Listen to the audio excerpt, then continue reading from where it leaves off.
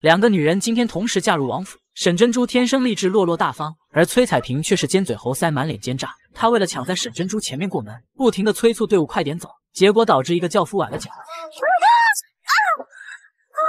就这样，沈珍珠的队伍自然而然走到了前面。这下崔彩萍可是炸了锅！你们几个废物，快点啊！洞房花烛夜，势必有一个人要独守空房。崔彩萍为了让殿下在他这里过夜，竟事先收买了一个太监，把烂醉如泥的李处扶到了琉璃阁。李处抬头一看，顿时来了脾气，朝着太监数落起来：“老子我还没说去哪儿睡，你倒自作主张起来了。”奴才以为，按道理本该先紧着崔如人这边。按什么道理？按他崔氏的背后靠山够硬啊，还是按他崔氏给你的银子够趁手啊？太监顿时菊花一紧，跪在地上连连求饶。李处最讨厌偷奸耍滑的人。索性推开了崔彩萍的房门，打算见识一下她还有什么手段。看着英俊潇洒的新郎越走越近，崔彩萍心里既期待又紧张。只见李处一屁股坐了下来，开口第一句就是夸他好手段。这才刚入府，便已收买了本王府中的下人，在酒中下药，还特地引本王来琉璃阁。殿下在说什么？平儿听不懂。崔如人出身名门，自是冰雪聪明。可本王也不是个傻子。考虑到今天是新婚第一天，李处表示不再过多计较，只是警告他下不为例。崔彩萍听后立刻喜上眉梢，邀请李处留下来玩耍，顺便体验一下他的绝活。只见李处微微一笑，拿走了崔彩萍手中的扇子。就在他热血沸腾的时候，李处却直接泼了一盆冷水。本王今夜身体不适，崔如人还是自行歇了吧。另一边。沈珍珠见新郎还没有出现，以为今晚他应该不会来了，便拿着一块玉佩黯然神伤起来，脑海不禁浮现出小时候的情景。那是在一次庙会上，珍珠不小心掉进了河里，危急关头，一个少年毫不犹豫地跳了下去，最终把命悬一线的珍珠救了上来。在此期间，珍珠无意中扯下了少年的玉佩，后来便一直珍藏在身上，并决定此生非他不嫁。遗憾的是，除了这块玉佩，他对少年的身份一无所知，因此苦寻多年依然毫无结果。现如今他全家惨遭灭门。为了查清幕后真凶，她不得不违背初心嫁入广平王府。正伤感的时候，广平王突然走了进来，吓得珍珠连忙拿扇子将脸遮住。殊不知眼前的丈夫正是她苦寻多年的心上人。当李处拿开扇子的那一刻，整个人都愣在了原地。是你，李兄，怎么会是你呢？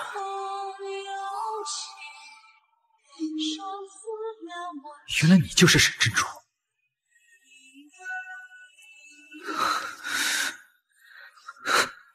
原来就在前不久，他们曾经见过三次面，每一次都令李处印象深刻。最后情不自禁的爱上了这个美丽的姑娘。可惜自从上次分开就失去了联系。好在有老天的眷顾，心爱的姑娘竟神奇般的成了妻子。可是珍珠始终放不下玉佩的主人，所以对李处的拥抱表现的十分排斥。为什么？因为因你那玄武宗营的心上人吗？你方才是不是还在想他？是吗？那你本可以不出现在这里。为什么还是愿意了呢？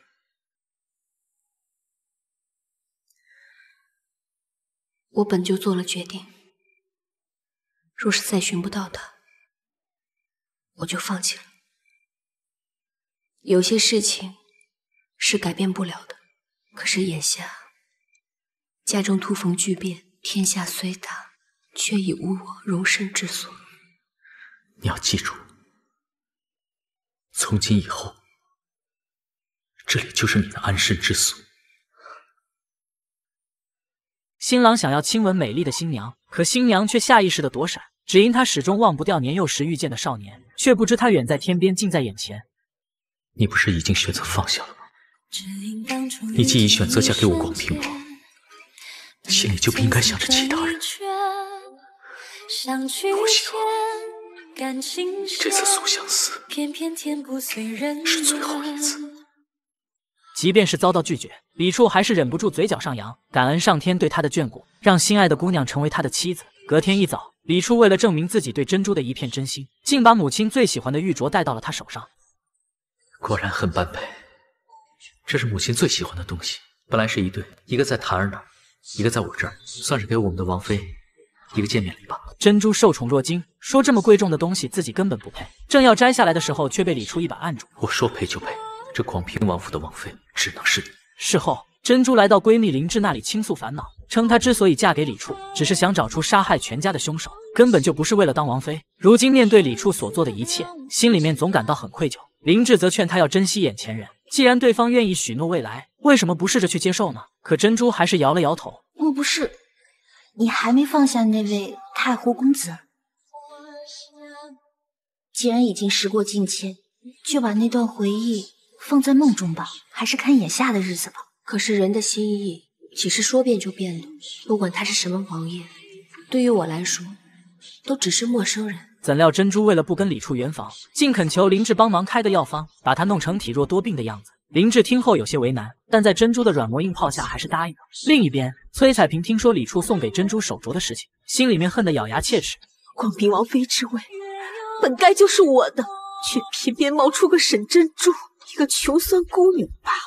殿下居然在新婚之夜抛下我去寻她，沈珍珠，我定要给你点颜色看看。李处为了讨好珍珠，可谓是煞费苦心。得知她喜欢吃冰糖葫芦，不惜跑遍整个京城才买到一只。吃着许久没吃过的零食，珍珠心里有说不出的感动，不禁觉得这个男人其实也挺好的。看珍珠吃的满嘴都是，李处十分贴心的帮她擦掉，却无意中发现她的脸蛋冰凉，紧接着又摸了摸手，也是像冰块一样。于是立刻命人把暖炉升起来。室内温度必须达到十六度以上，没想到不生不要紧。只见张德玉端着暖炉一进门，众人仿佛来到了淄博烧烤城现场。张德玉，你这耍的什么宝？我素瓷向李处抱怨说，文景阁收到的全是劣质炭，他们小姐嫌呛，宁可挨冻也不生暖炉。李处听后火冒三丈，立刻召集所有家丁到院子里集合。在一番询问后，才得知内务总管认为珍珠好欺负，为了中饱私囊。竟将文景阁的银骨炭全都卖掉了，并且换成了受朝的劣质炭。李处对此勃然大怒，厉声斥责何灵一监管不力，取消他的年终奖以示惩罚，并且宣布从今往后内院所有事务全交给沈珍珠打理，所有人都不能有任何怠慢。此时此刻，李处俨然成为了护妻狂魔。崔彩萍得知这个消息，震惊万分，为了泄愤，竟狠伤了身边的侍女，决定对沈珍珠正式宣战。女人将一只九块九包邮的手镯摔了个粉碎。沈珍珠那个贱人，竟敢耍弄我！原来就在昨晚。李处为了帮珍珠在王府中立威，宣布内院事务全部交由他打理。崔彩萍得知后心怀不满，隔天一早便来找珍珠的茬。沈珍珠，就你这种小地方来的，怕是府上时令年节，你连听都没听说过，居然还敢妄想打理内院事务，简直是笑掉大牙了。珍珠并没有跟他正面冲突，而是吩咐侍女帮他在地上寻找大牙。崔彩萍气急败坏，指着珍珠破口大骂。见李处走了进来。反而还恶人先告状，硬说珍珠故意羞辱自己。红蕊立刻向李处解释缘由。殿下，崔如人说我家夫人让他笑掉了大牙，恕奴婢愚笨，没能帮崔如人在地上找到他的牙。眼看崔彩萍下不来台，珍珠决定见好就收，便主动向他赔礼道歉。当着李处的面，崔彩萍不好继续发难，却提出要珍珠手上的玉镯作为赔罪礼。珍珠犹豫了一下。说手镯现在不方便取下来，等回去抹点肥皂撸下来再给他送去。李处眼看自己送给珍珠的玉镯被他这样轻易的转赠他人，随即骂骂咧咧的转身离开。事后，珍珠为了哄李处开心，特意给他送来亲手熬制的胡辣汤。李处还在气头上，赌气让他拿给别人喝，反正他那么大方，什么都可以送人。珍珠并没有解释，只是把汤放在了桌子上。就在这时，李处突然看到了他手上的玉镯，不禁感到有些诧异：“你没给他？”“给了呀，给的是我自己的那一只，跟这个。”有点相似，珍珠，你可知道，崔彩萍可不是好糊弄的。我没糊弄啊，他当时要的就是我手上那一只，我给他的也是那只啊。若是崔如人怪罪我弄错了，那东楼你可要为我作证啊。李处心情大好，隔天便带着珍珠上街疯狂购物，一直到半夜才满载而归。各种国际大牌摆满了桌子。李处面露羞涩，表示今晚想要跟珍珠切磋一下。怎料话音刚落，珍珠竟开始剧烈咳嗽起来。太医诊断后表示，珍珠最近有点内分泌失调，需要吃乌鸡白凤丸慢慢调理。最后还不忘叮嘱李处，在用药期间千万不能行房事，希望殿下一定要 hold 住。李处只能故作淡定，表示自己会尽量克制。却不知珍珠为避免跟他圆房，故意吃了一种特殊的药物。眼看李处对珍珠关怀有加，崔彩萍心里极度不平衡，便将女总管和林一喊到面前。挑唆他跟自己一起对付沈珍珠，王妃之位一定是我的，你可好好掂量清楚。怎料何灵依根本不吃这套，奴婢只有一个主子，那就是殿下。至于谁输谁赢，谁做了王妃，都跟奴婢没有关系，奴婢无需掂量。冥顽不灵。最后，何灵依还不忘提醒说，她手上戴的玉镯其实是地摊货，根本不是殿下送给珍珠的那只。崔彩萍这才意识到自己只是个小丑，当即将玉镯摔了个粉碎，然后跑到母亲那里诉苦。让他劝姨妈杨贵妃出面对付沈珍珠。韩国夫人说她已经打听过，沈珍珠现在病得连内事都做不了。李处对她丧失兴趣是早晚的事，如今最重要的是肚子要争气，只要能怀上殿下的孩子，将来正妃之位就跑不了。哪有那么容易啊？最近殿下就跟算准了日子似的，总在我信期前后来，要怀上，太难了。他算准了日子来找你，你也可以算准了日子去找他呀。傻。沈珍珠，这是你自找的。珍珠为了不跟李处圆房，一直在偷偷服用药物装病。这天，素瓷在掩埋药渣的时候，恰巧被一个侍女看到。等素瓷离开后，她偷偷取出一些药渣，然后拿到了崔彩萍的面前。奴婢查过了，这药会使人气血虚弱。沈如人夜夜在房里偷偷熬制，不知作何用。崔彩萍以为珍珠想要加害殿下，随即将此事告诉了李处。可任凭崔彩萍说的天花乱坠，李处也不相信珍珠会加害自己，于是三言两语便将其打发出去。这时候何灵依突然开口，表示崔如人并没有说谎，因为他之前去沈如人的房间时，隐隐约约能闻到一些药味，跟这药渣的味道极其相似。李处将信将疑，立刻前去找珍珠问个明白，却无意中听到了房里的谈话。得知原来珍珠之所以偷偷服药，竟是为了避免跟自己行周公之礼。李处顿时火冒三丈，进去直接将红蕊和素瓷轰了出去，质问珍珠为什么要糊弄自己。见他始终一言不发，李处已然彻底失去耐心，便用力把珍珠推倒在床上，打算用实际行动将其征服。在珍珠的苦苦哀求之下，李处这才渐渐恢复理智，将四十米长的大刀收了起来。最后气急败坏的夺门而去。李处无法原谅珍珠的再三欺骗，于是下令把她关进一座废弃的庭院。崔彩萍小人得志，如愿成为王府中唯一的女主人。可即便如此，她依然没打算放过珍珠，决定趁此机会永除后患。她让瑶儿假装好心，每天给珍珠送去一碗鸡汤，殊不知里面放了难以察觉的慢性毒药。珍珠喝了之后，身体变得越来越虚弱，直到这天夜里，她起来喝水的时候，突然晕倒在地。红蕊一边敲门一边大声呼救，希望外边的人能够施以援手。此时何灵一恰好从这里经过，但他却装作没有听见，嘴角还露出一丝邪魅的微笑，因为他也深爱着李处，所以珍珠一直是他的眼中钉。好在只是有惊无险。第二天，珍珠终于苏醒过来，但却头昏脑胀的厉害，便提出到外面呼吸下新鲜空气。来到院子里，一向乐观的珍珠突然消极起来，觉得自己快要不行了。我不能死在这儿，而且我还有好多话想要对他说。就在这时，他们突然看到有人在外面放风筝。红蕊见状，立刻跑过去，大声呼喊。殿下，殿下救救我们家小姐！殿下，救救我们家小姐吧！去看看怎么回事，那他们别大呼小叫惊扰殿下。是。听着歇斯底里的求救声，李处最终还是心软了下来，于是不顾崔彩萍的阻拦，来到了别院。殿下，殿下还有事要忙，没时间听你在这儿杂耍。殿下，我们回去吧。想来是沈如人在偏院住久了，寂寞。那我们就听完一曲，再走一步。殿下不可，沈如人他居心叵测。殿下，我们还是回去吧。若这一曲要是让殿下听高兴了，殿下可否与我单独一叙？我有话想说。听说男女一起泡温泉可以包治百病，在阴阳调和的作用下，重度昏迷的珍珠很快苏醒过来。当发现自己身在李处的怀中，他感觉像是在做梦一样。原来珍珠为逃避圆房，一直在吃药装病。李处为此大发雷霆，一气之下把他软禁在荒废的别院中。期间，珍珠喝了有毒的鸡汤，导致身体每况愈下，最后到了病入膏肓的地步。好在李处听到了别院的求救声，一番斟酌过后，决定放下颜面前去一探究竟。怎料院门打开的瞬间，映入眼帘的竟是一副憔悴的面孔。只见珍珠可怜兮兮地说：“想要为殿下绣一段葫芦丝，如果令他满意的话，能否单独聊聊？”沈珍珠。你别得寸进尺，我看他又在动什么歪脑筋了。这曲不听也罢，那不如先来听听你这一曲能否说服本王，有意与你单独一叙。没想到表演刚进行到一半，珍珠因毒性复发而倒地不起。李处见状大惊失色，立刻跑过去查看状况。可就在这时，一口老血从珍珠的嘴里喷涌而出，着实把众人吓了个够呛。太医经过反复诊断，却无法查出珍珠的病因。李处因为有前车之鉴，认为珍珠又吃了什么装病的药。素辞说吃个锤子，平时连饭都吃不饱，更别说吃药了。殿下要是不信的话，可以派人去那院中搜查。那院中无炉无灶，奴婢过了饭时等不到饭送来，想要给夫人热口汤都没有办法。这到底是怎么回事？夫人数天前突然晕倒，之后这些天醒来的时刻越来越少，奴婢哭着求着请他们给夫人看病，没有人理会过。求殿下请建宁王妃来给夫人瞧瞧病吧，夫人怕是怕是不大好了。李处听后，立刻命人请来了建宁王妃。好在慕容灵芝医术精湛，通过化验指尖的血液。查出珍珠种的是一种叫风香草的奇毒，这风香草极为难得，几乎无法察觉，寻常大夫也诊断不出来。这毒必是慢慢的下入他体内，先趁他沐浴之时由体肤侵入，再混入食物中侵入体内。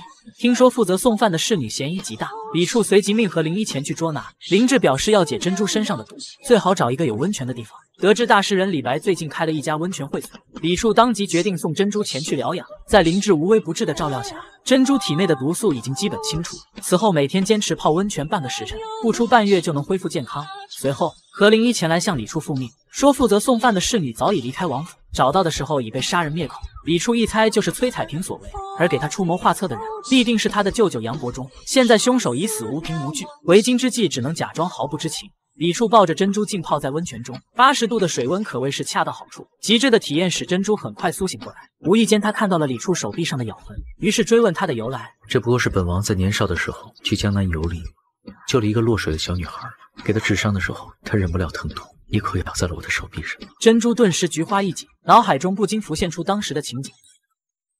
不疼，不疼，不啊！对不起，对不起，会留疤吗？我没事。缘分就是那么神奇，梦里寻他千百度，没想到竟是眼前的李处。我好傻，明明你就在眼前，我却一直没发现。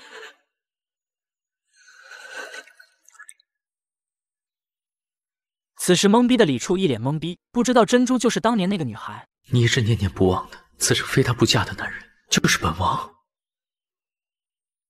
此刻的男人感觉像是做梦一样，想不到兜兜转转一大圈，那个他视作情敌的男人，原来竟是自己。情到浓时，两人忍不住拥吻在一起。在这间破旧的茅草屋里，他们终于成为了真正的夫妻。今天早上的时候，珍珠独自来到寺庙祈福，离开的时候遇上了青梅竹马一起长大的安庆绪。他向珍珠真情告白，并且要带她远走高飞。没想到珍珠却断然拒绝。安庆绪感到大惑不解，莫非你这么快就爱上了李处？我不是爱上了李处，而是我一直爱的人。就是他，你说什么？你知道吗？我苦苦寻觅的太湖公子，就是李处，他就是当年救我的那个少年。听到此话，安庆绪情绪开始激动起来，试图打感情牌，让珍珠回心转意。我对你怎么样，你心里清楚。我不信，我真的一点机会都没有。难道我多年的陪伴，还不及那人片刻的恩情吗？可珍珠的态度十分坚定，她的心里面就只有李处一个人，再也无法容纳别的男人。李处在一旁听到这番话，嘴角忍不住上扬起来。安庆绪怒吼说：“李处算个锤子！哥哥我才是守护你十几年的人。”珍珠则表示感情不是时间才能决定的，希望你能找一个值得你爱的女人。很明显，老娘并不是。说完便决绝的快步离开，只留下安庆绪独自站在风中凌乱。珍珠满怀心事的走在街上，李处冷不丁的出现在她的面前，然后从身后变出来一串冰糖葫芦。珍珠满脸娇羞的接了过来，方才的不愉快瞬间烟消云散。就这样，两人手拉着手逛起庙会，还没走出多远。就被一群跳广场舞的面具人吸引过去。正当他们看得津津有味的时候，一个面具人突然掏出匕首，朝着李处猛刺了过来。千钧一发之际，幸好珍珠眼疾手快，用力将其推开。李处虽然身手不错，怎奈对方人多势众，于是拉起珍珠像狗一样疯狂逃窜。电视剧有条万年不变的规律，主角被追杀的镜头一定是悬崖，当然这次也不会例外。在杀手的步步紧逼下，李处和珍珠双双坠入万丈深渊。毫不意外，珍珠在主角光环的加持下很快苏醒过来。见李处躺在那里一动不动，还以为他领了盒饭，随即一顿小拳拳捶在他的胸口，结果令他神奇般的满血复活。这时不远处传来杀手的脚步声，两人立刻起身继续逃亡。经过一天的长途跋涉，他们早已是身心俱疲。看到路边有座废弃的小屋，于是决定进去暂住一晚。珍珠找到一男一女两身粗布衣服，两人一拍即合，决定穿上体验一下当百姓的感觉。随后两人躺在草梦思床垫上畅谈人生，看着心爱的珍珠，李处不禁感慨万千，说自己总是对她琢磨不透。一开始你不情不愿地嫁给了本王。任凭本王怎样的付出，你都不能接受。后来，你一面向本王示好，一面又想尽各种办法来躲避本王，让本王一度以为你就是为了想要当上王妃而故意接近本王的势力女人。可今天，你又舍命救了本王，珍珠，你到底是怎么想？此时此景，珍珠终于说出藏在心底的话：我当初进王府，确实是因为家变，也是因为当初的那个诺言。不肯对东郎付出真心，但是东郎对我的好，珍珠并非不知道。我亦因东郎而动摇，又恨自己守不住初心。可是直到那一天，在温泉，我才发现，原来天涯海角找的恩人，此刻就在眼前。我才发现过去的自己是多么的傻。李处听后欣喜若狂，原来他们之间竟是双向奔赴的爱情，这个夜晚必定令人终身难忘。男人同时娶了两个妃子。可偏偏不爱的那个怀上了孩子，李处怎么也想不通，明明都是在他安全期的时候宠幸他，最后还是出现这样的结果。尽管珍珠感到失落至极，但还是向李处表示祝贺，毕竟自己不是对方唯一的妻子。事情既然已经发生，只能努力克制情绪，尽量的包容丈夫。李处为此愧疚万分，随即找来和灵一兴师问罪，责问他怎么会记错崔彩萍的安全期。何灵依立刻狡辩说，应该是崔彩萍偷偷吃了药，强行改变了大姨妈的活动规律。如今杨国忠如此猖狂，再让他的侄女怀上了本王的血脉，那岂不是让他在广平王府根基越扎越深？何灵依建议干脆把这个孩子做掉，结果导致李处更加恼怒。放肆！即便是崔彩萍所生，那是本王的孩子，虎毒不食子，岂轮得到你在这网络生死？属下不敢。这天，崔彩萍的侍女仗着主子怀孕，私自盛了一碗珍珠的莲子粥。素瓷见状，立刻上前制止：“这是我们文景阁的。”我们家小姐可饿不得，你们家小姐可以等，你等吧。先来后到，这是我们文景阁先要的，管你谁先谁后。你们家如任如今也得给我们家小姐让路。要说侍寝的次数，你们家如任可一点不比我们家小姐少。怪就怪她肚子不争气，可怨不得人。可架不住殿下疼我们小姐，该是我们的就是我们的，不会因为如人怀了孕就破了规矩。你崔彩萍听到这话。上前狠狠扇了素瓷一个大逼兜，并且让她跪在地上伺候自己吃饭。珍珠得知后，立刻跑来为素瓷求情，可崔彩萍并不想就此罢休，还故意将滚烫的粥浇在素瓷手上。珍珠心疼不已，立刻上前把碗接了过来，然后跪在地上亲自服侍崔彩萍进食。好在此时韩国夫人走了进来，示意女儿不要把事情闹大，珍珠这才得以带着素瓷离开。事后。韩国夫人获悉这粥本是沈珍珠的午饭，心中顿时产生几分疑虑，因为沈珍珠向来无辣不欢，现在饮食变得这么清淡，背后一定有什么原因。珍珠最近总是感到胸闷气短，于是请来太医检查身体，殊不知自己已经怀有身孕。可太医并没有向她透露，而是将这个消息告诉了韩国夫人。崔彩萍顿时就炸了锅，娘，怎么办呀？本来殿下就被那个狐狸精给迷住了，这要是沈珍珠怀了一个小殿下，我要是怀的是个小郡主。沈珍珠，她知道自己怀上了吗？据微臣观察，貌似不知。封死这个消息，她若知道了，我第一个饶不了你。是。韩国夫人向女儿保证，绝对不会让沈珍珠的孩子瓜熟蒂落。隔天一早，珍珠正准备外出办事，韩国夫人随即使了个眼色，侍女心领神会，借着放风筝，故意把路过的珍珠撞倒在地，结果导致脚崴了一下。紧接着，韩国夫人又假装好心帮她请来骨科医生，开了大量活血化瘀的药物，打算神不知鬼不觉除掉她的孩子。珍珠却是乐呵呵的欣然接受，还以为韩国夫人是在向自己示好。几天后，李处抱着珍珠外出赏菊，恰巧遇到了李谭和林志两口子。一番寒暄过后，兄弟俩便相约去了麻将馆。林志听说珍珠最近崴了脚，而且还总是感到胸闷气短，于是顺便给他号了号脉。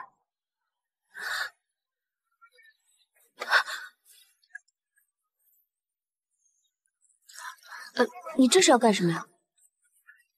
谁给你开的活血药啊？你都有身孕了，怎么能用活血药呢？身孕？你说什么呢？林志，你是不是搞错了？张太医前几天刚给我把过脉，他说我不过是气血虚啊，已经有一个月的身孕了。他什么庸医啊，诊断不出来，何况是太医。除非他是故意不告诉你。珍珠这才如梦初醒，原来自己是被崔彩萍母子给算计了。女人喝下一碗安胎药，结果下一秒就腹痛难忍。幸亏太医抢救及时，崔彩萍才捡回一条小命。只是肚子里的孩子已经夭折。韩国夫人百思不得其解，女儿刚才还好好的，为什么转眼间就会流产？太医经过检测，发现崔彩萍的安胎药中居然含有可致人滑胎的商露。韩国夫人顿时就傻了眼。想不到居然会偷鸡不成蚀把米，原来她为了打掉珍珠肚子里的孩子，便让侍女趁机在她的药罐里加了商露。本以为事情做得天衣无缝，不成想何灵一恰巧看到，脸上还露出一丝邪恶的微笑。事情发展到这个地步，韩国夫人随即贼喊捉贼，上前狠狠扇了珍珠一记耳光，硬说这一切都是她捣的鬼。夫人好见识，珍珠枉读几年诗书，倒不知上路有何作用，原来竟可做堕胎之用。珍珠真是领教了！你休要装作无辜，请趁殿下不在府上，下毒手害彩萍，还有她腹中的胎儿。夫人不要信口雌黄，你可有证据吗？司马昭之心，还要什么证据？我定要将你沈珍珠缉拿问罪！你大唐刑律，拿人问罪是要证据确凿的。眼看双方争执不下，最后只能请太子妃前来主持公道。为了查明真相，太子妃让人将珍珠和崔彩萍的药罐都拿了过来。太医鉴定过后直言奇怪，崔彩萍的安胎药并没有异常。反而在珍珠活血化瘀的药中发现了大量商路。为了进一步查证，太医又检测了崔彩萍用过的药丸，这就更奇怪了。这崔如人服的，竟然是沈如人的药啊！韩国夫人闻言色变，随即对着珍珠倒打一耙。原来如此，你怕让丫头下药易被人察觉，所以只在自己的药中下商路，然后只要让素瓷找机会调换药罐，以为这样就不会被人发现了吗？你好恶毒的心！娘娘，奴婢是被冤枉的，奴婢什么都没有做，你还敢嘴硬？韩国夫人像疯狗一样咬着素瓷不放，为了迫使她招认，竟命人动用私刑。就在珍珠倍感无助的时候，幸好李处及时赶了回来。我这府上何时成你们的刑堂了？初儿有所不知，殿下，你的孩儿被人害死了，下药的凶手已经找到，就是你沈珍珠身边的贴身丫鬟素瓷，她不过一个下人。背后定有人指使，请殿下为彩萍做主，为您那未出世的孩儿做主啊！就在这时，珍珠突然想到一个揪出凶手的办法，跟太医耳语过后，太医立刻心领神会，声称商露的味道十分特殊，触碰之后指尖会有味道残留，只要检查所有人的手，就能得知谁才是下药之人。素瓷身正不怕影子歪，立刻伸出手去让太医检查，可轮到崔彩萍的侍女的时候，却因顶不住压力而当场认罪。求殿下！奴婢只是奉命办事，听从主子的安排而已。奴婢只是将商路下到沈如人的药罐之中，却不知何人调换了药罐，请殿下饶命！殿下饶命，娘娘饶命啊！事到如今，韩国夫人依然死鸭子嘴硬，口口声声说他们被沈珍珠收买了。怎料话音刚落，侍卫就带来了从崔彩萍那里搜出的商路。韩国夫人。你这不成了贼喊捉贼了吗？韩国夫人谋害皇家子嗣，把她绑起来，带到父皇面前，让她自己解释吧。我看你们谁敢动我！我可是贵妃娘娘的亲姐姐。就在这时，崔彩萍跌跌撞撞跑了进来，跪地恳求李处放母亲一马。然而李处早就对他们一家恨之入骨，随即用力把她推了出去，结果导致韩国夫人因情绪激动当场休克。与此同时，珍珠也突然感到腹部一阵剧痛，紧接着晕倒在地不省人事。事后林志通过诊断，发现珍珠的孩子竟然也没有了。我的孩子呢？孩子与我们无缘了。珍珠自从怀孕以来，每天都谨小慎微，想不到最终还是被人算计。就在痛不欲生的时候，猛然想起凶手就是女管家何灵一，因为就在她处于昏迷之中时，隐约之间听到了何灵一的声音。浸过牛膝草汁的宣纸，好用吗？可是李处却并不相信，认为珍珠只是身体虚弱而产生的幻觉。查查，你快去查查，我的孩子不能就让他这么不明不白的没了。你快去查呀！在珍珠的再三要求下，李处只好把何灵一喊了过来。面对珍珠的指控，何灵一承认宣纸是他送来的，但绝对没有动过任何手脚。你胡说，就是你，是你在送来的宣纸上进了滑胎药，对，牛膝草汁。牛膝草汁，牛膝草，牛膝草汁。我昏迷的时候，你自己亲口说的。何灵一称自己根本不知道牛膝草是何物，更何况珍珠处于昏迷之中，怎么可能会听到自己说话？这时太医拿来了珍珠所用的宣纸，确定并没有任何异常。林志也拿起来仔细闻了闻，得出的结论同样是普通的宣纸。珍珠不愿相信这个结果，于是不顾身体虚弱跑上前去，亲自闻了闻宣纸上的味道，发现这些宣纸根本就不是之前的那些。你早就把带草香的宣纸换走了，是不是？何灵一装作一脸无辜，表示十分理解他失去孩子的痛苦。假如他一定要找个人出气的话，自己愿意背这个黑锅。李处听到此话，自然而然打消了疑虑，说珍珠一定是错把梦境当成了现实。见深爱的丈夫不相信自己，珍珠的情绪随之彻底崩溃。李处，你宁可信他，也不信我，是不是？你走，你走啊！你们都走！殿下。珍珠现在情绪很不稳定，我来陪着她吧。趁着李处和林致外出说话的功夫，何灵一终于露出真实嘴脸。你只不过是颗棋子，殿下又怎么会因为你而迁怒我这个他最亲近的人？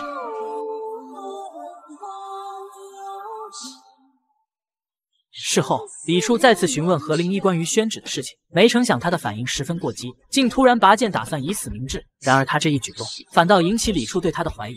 如果让本王查出真相，本王自会用本王的手段来处理。到时候，你就绝不是谁提剑自刎这么简单。从今以后，府上的事务你就不要再接触。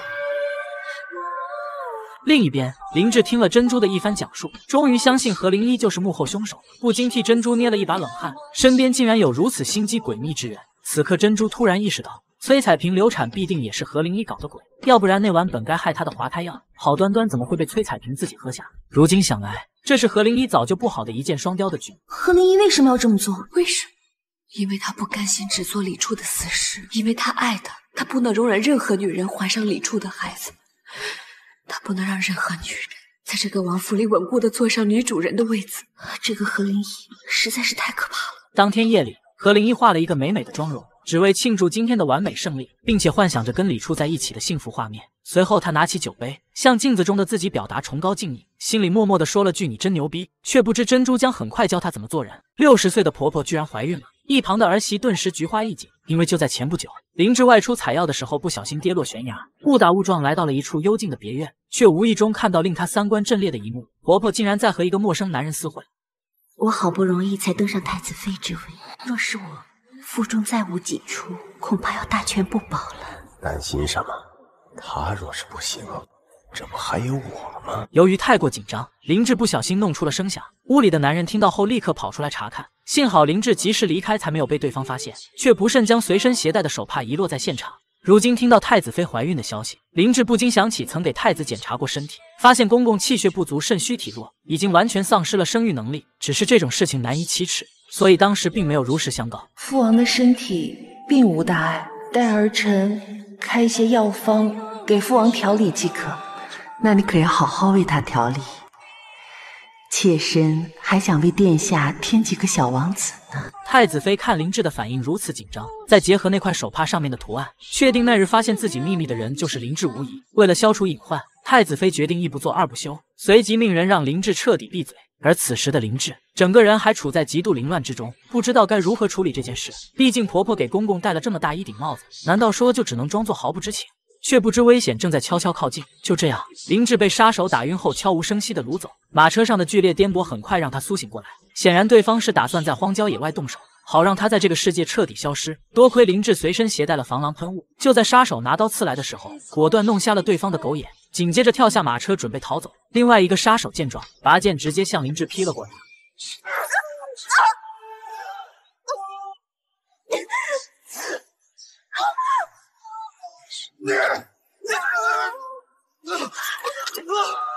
就这样，林志仅凭一瓶防狼喷雾就轻松搞定两个彪形大汉。所以在这里提醒女孩子们一句：出门在外一定要学会保护自己。身负重伤的林志跑到附近的镇子上，恰好遇上两个长相猥琐的男人。林志已经顾不了太多，于是拿出自己的贴身玉佩，恳求他们去建宁王府传信求助。不成想这两个家伙嗜赌成性，他们见玉佩价值连城，再加上林志长得如花似玉，便不由得起了歹心，转头就把它卖给了妓院老板，小赚了一笔。而此时的李谭见宝贝媳妇不见了，急得像是热锅上的蚂蚁，马上把府里所有的下人都给我派出去找，一定要找到王妃。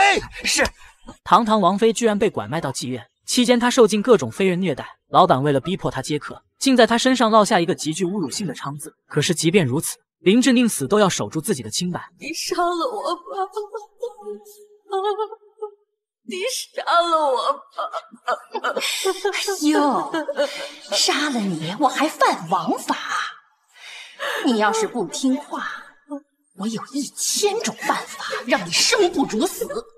另一边，身为丈夫的李谭想尽一切办法，可依然没有林志的任何音讯，几乎已经到了崩溃的边缘。这天，李谭在外面借酒消愁，听到隔壁包间的人正在议论建宁王妃，言语中充满了侮辱和诋毁，这无疑点燃了李谭心中的怒火。于是拿着酒坛冲过去给对方开了瓢。几个朋友生怕事情闹大，连忙拉着他去别的地方消遣。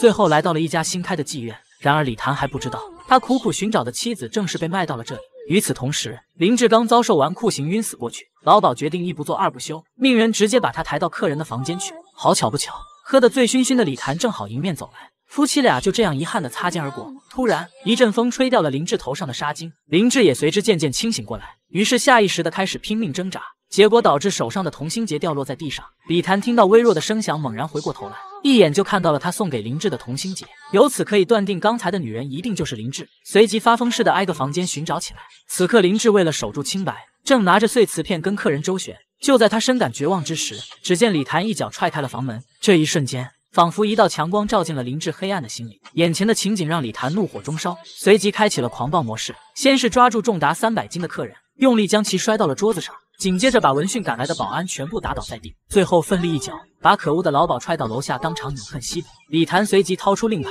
向楼下的吃瓜群众大声喊道：“今日之事，谁也不曾看见。若要多说一个字，家破人亡，我建宁王李谭说到做到。”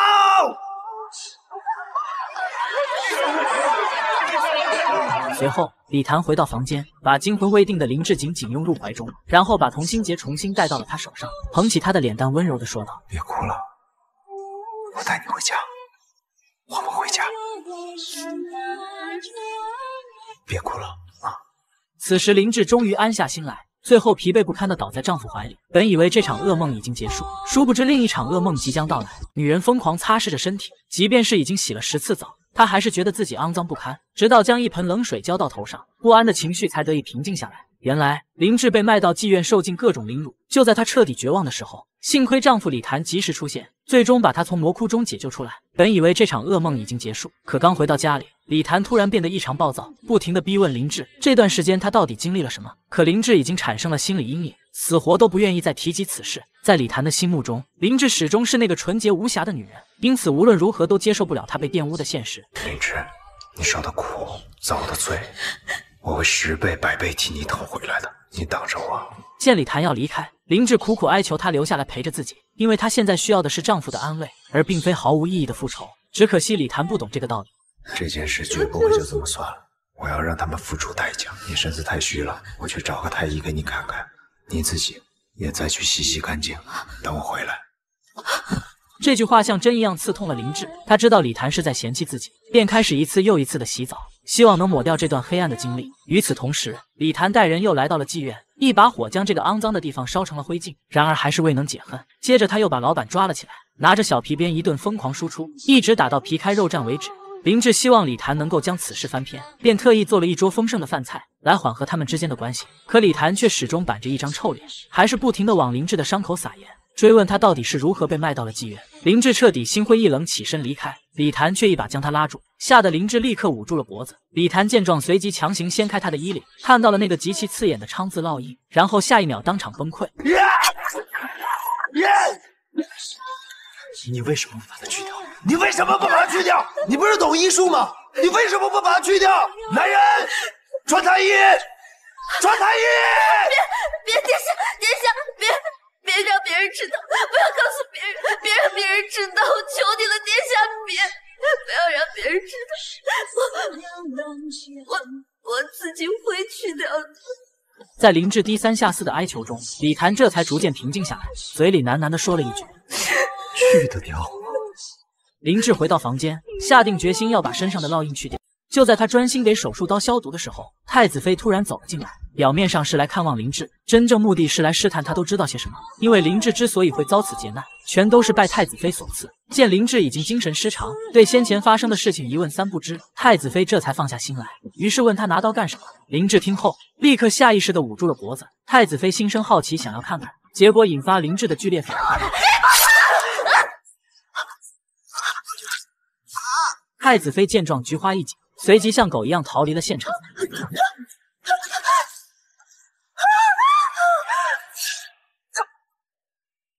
女人被丈夫逼到悬梁自尽的地步，心如死灰也莫过于如此。原来林志先前被拐卖到妓院，经历了一场可怕的噩梦。作为丈夫的李谭非但没有半句安慰，反而还一次次的旧事重提，结果导致他精神变得失常起来。更过分的是，太子李亨得知林志的遭遇后，生怕皇家声誉会因此受损，竟毫不犹豫地责令儿子休妻。李谭虽然对林志有几分嫌弃，但自始至终都没有想到离婚这一步，于是苦苦哀求父王收回成命。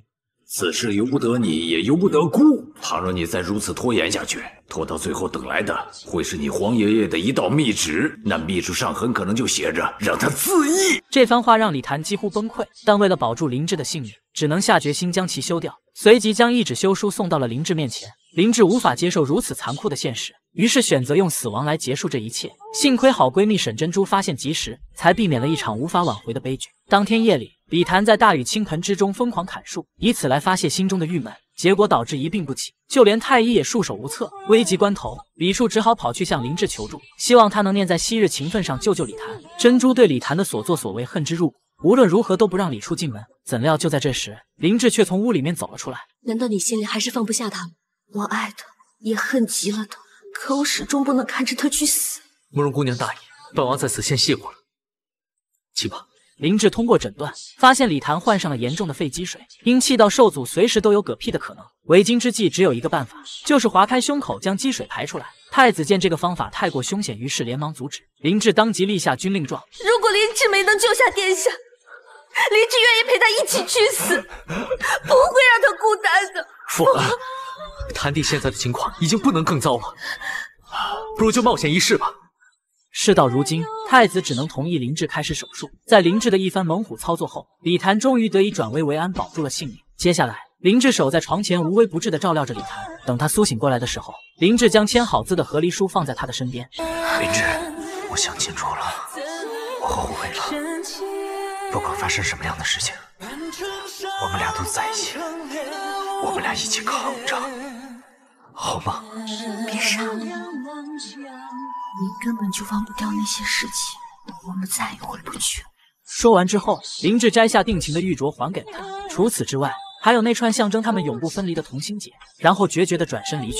李谭看着林志离开的背影，歇斯底里的叫着他的名字。然而对方再也没有任何回应。悲痛欲绝的李谭躺在床上嚎啕大哭。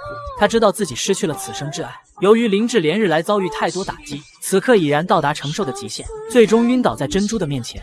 神奇的是，当林志苏醒过来的时候，居然忘记了自己和李谭之间的种种过往。对他来说，或许这是最好的结局。珍珠，你怎么，你怎么梳这样的头发，像个娘娘一样？咱们都是未出阁的姑娘，你这么打扮，沈婆婆又该骂你了。林志，嗯，你怎么了？女人结束了令人羡慕的婚姻，一觉醒来竟然失去了记忆，和前夫之间的点点滴滴已经忘得一干二净，变回了曾经那个无忧无虑的林志。也许这就是不幸中的万幸。相反，离婚后的李谭整日浑浑噩噩，只能依靠酒精来麻痹空虚的灵魂。这天，他在河边思考人生的时候，惊奇的发现林志就在身旁洗手绢，于是连忙轻声呼唤他的名字：“林志，公子，你认识我？啊？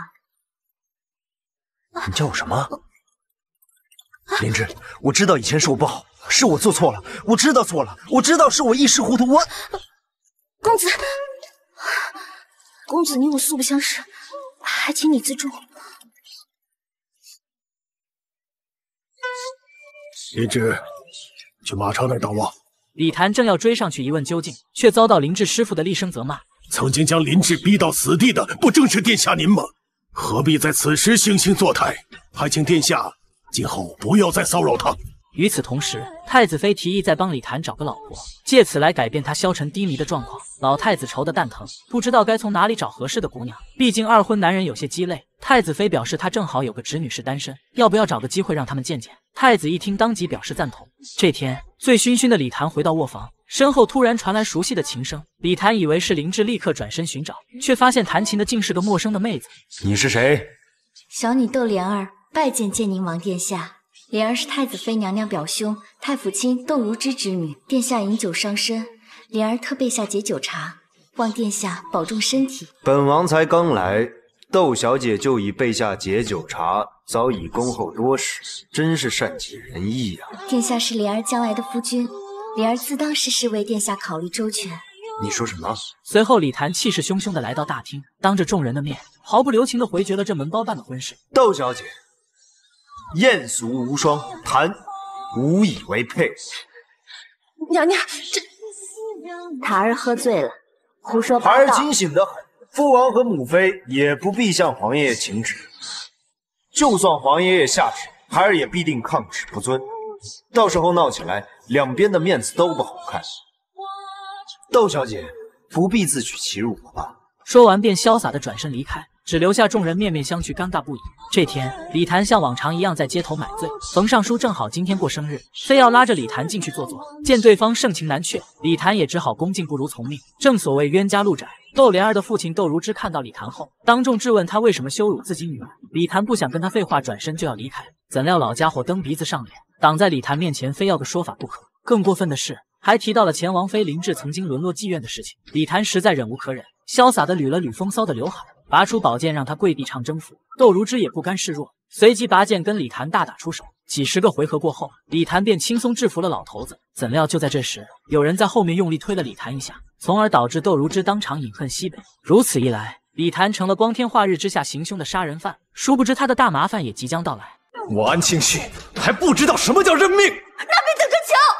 我告诉你，你是逃不掉的。这是我见过最执着的女人，为了嫁给心目中的男神，居然连尊严都可以不要。原来就在不久前，刚从酒吧出来的李若被一群色狼盯上，带头的胖子掏出工具准备作案的时候，没想到被路过的安庆绪一刀毙命。紧接着，其他几个小弟也相继领了盒饭。安庆绪此番仗一出手，只不过是一时心血来潮，却让李若从此成为他的小迷妹，并决定此生非他不嫁。李处得知后，第一个坚决反对，因为此人性格偏执，而且情绪极不稳定，更何况他的父亲安禄山最近有起兵造反的苗头。然而李若向来刁蛮任性，对哥哥的苦口婆心根本不屑一顾。李处无奈之下，只好把他软禁起来。怎料李若为了达到目的，竟上演了一出绝食抗议的戏码。老皇上得知后，匆忙跑来探望李若，便趁此机会说出了自己的诉求。虽然皇上打心里也不同意这门婚事，但为了哄宝贝孙女开心，最终还是同意给他和安庆绪赐婚。李若欣喜若狂，随即将这个所谓的好消息告诉了安庆绪。然而安庆绪压根就不喜欢李若，对于他这种强人所难的行为，只会让安庆绪更加反感。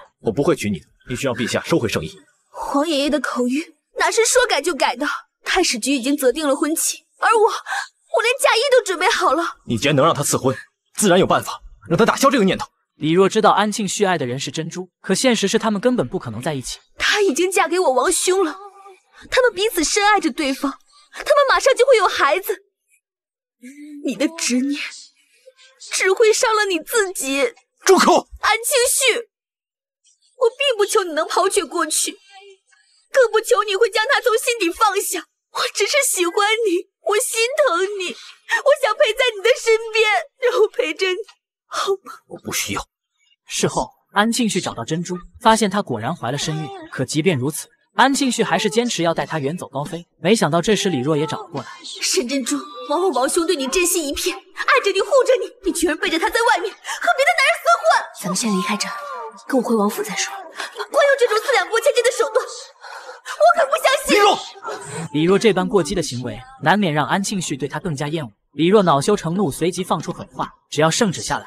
你他喵的到时候就必须认命。随后便来到皇爷爷面前撒娇卖萌，哀求他尽快下旨让自己和安庆绪完婚。隔天一早，赐婚圣旨果然送到了安庆绪的府邸。没想到安庆绪刚的一批，就连皇上的命令也不放在眼里，无论如何也不肯接受圣旨。更加令人始料未及的是，他为了能够离开长安，居然公然劫持了李若。高力士不敢轻举妄动，只好下令让他们离开。随后，安庆绪骑马带着李若向城外奔去。李处见状，意识到大事不妙，随即一脚地板油追了上去。来到郊外。安庆绪把李若绑在柱子上，然后在他头上浇了一瓶二锅头，并且点燃了火把，以此来威胁紧随而至的李处。生死攸关之际，幸好珍珠及时赶到现场，在他的一番劝说下，安庆绪这才放弃抵抗，仓皇逃走。经此一事，李若对安庆绪彻底死心。想不到世界上还有如此变态的男人。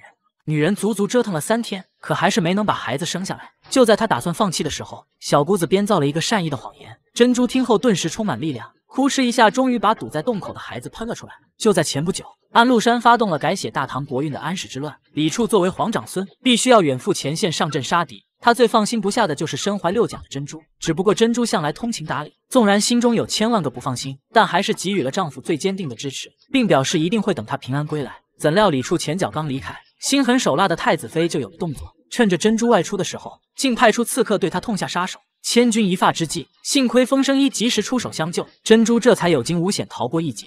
原来李处早就料到会有这种事发生，所以命侍卫全天候无死角的保护珍珠。与此同时，远在潼关的李处看到街上有卖波浪鼓的小贩，于是全款给即将出生的孩子提了一只，然后托熟人连同书信一起带回了长安。没成想这家伙是个半吊子，并没有把东西直接交给珍珠，而是送到了太子妃的手里。太子妃正愁着没机会对付珍珠，没想到机会自己送上门来。随后，他让太监前去告诉珍珠，李处已经不幸战死沙场。然后拿出了李处托人带回的物品。其实珍珠本来不相信是真的，直到看到波浪谷木柄上刻的字，她才不得不接受这个残酷的现实。这是他，这是他出征前刚取的乳名，外人并不知晓。是的，这是他留给库儿的。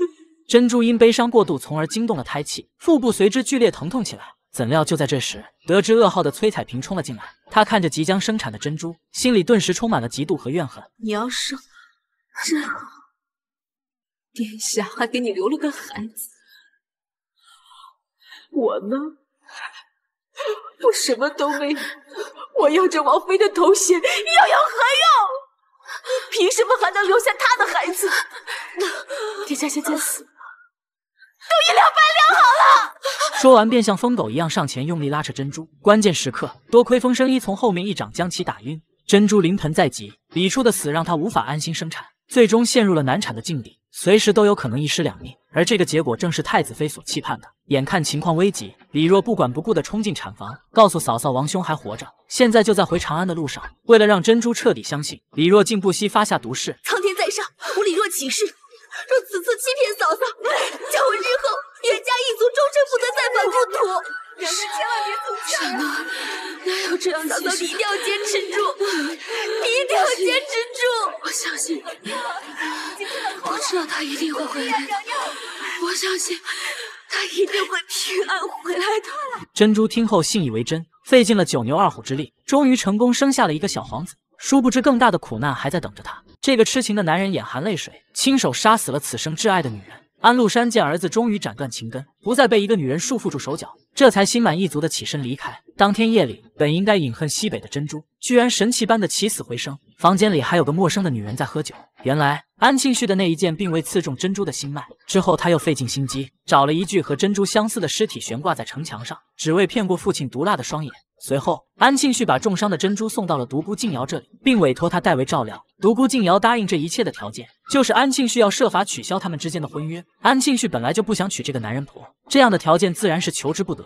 珍珠正坐在床上思念远方的李处，就在这时，安庆绪推门走了进来，看到心爱的女人安然无恙，心里的石头总算是落了地。这段日子你吃了很多，受了好多，你不愿意见我，连一句话也不愿意跟我说吗？珍珠这番冷漠的态度，让这个当了几十年备胎的男人彻底抓狂。你眼里、心里只有他，可那又如何？现在站在你面前的人是我，而他将永无翻身之日。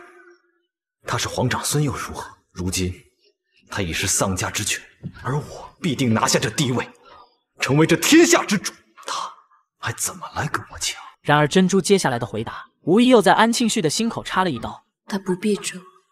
也不必抢，他是皇长孙也好，他永无翻身之日也罢，我的心都会永远跟他在一起。安庆绪则表示没关系，老子我有的是时间，到时候看谁能熬得过谁。说完便怒气冲冲的愤然离去。这天晚上，珍珠突然想到李处曾经说过，在这个太子别院中有一条密道，为了尽快逃离安庆绪的掌控，便开始到处寻找起来。果不其然，聪明的珍珠很快就找到了密道的入口。可让他始料未及的是，密道之中居然埋伏着一个蒙面杀手。千钧一发之际，幸亏安庆绪及时出现，又一次让珍珠得以死里逃生。事后，安庆绪向珍珠发出警告：假如他再敢逃跑的话，就杀了伺候他的侍女。善良的珍珠于心不忍，只好暂时打消逃跑的念头。独孤静瑶为安庆绪的表现鼓掌叫好，这场自导自演的英雄救美非常精彩。安庆绪却矢口否认，说：“哥哥，我又不是闲的蛋疼。”独孤静瑶有些诧异，想不到珍珠的仇人竟然有这么多。安庆绪却不敢苟同，他认为珍珠之所以会屡次遇险，全都是因为受了李处的连累。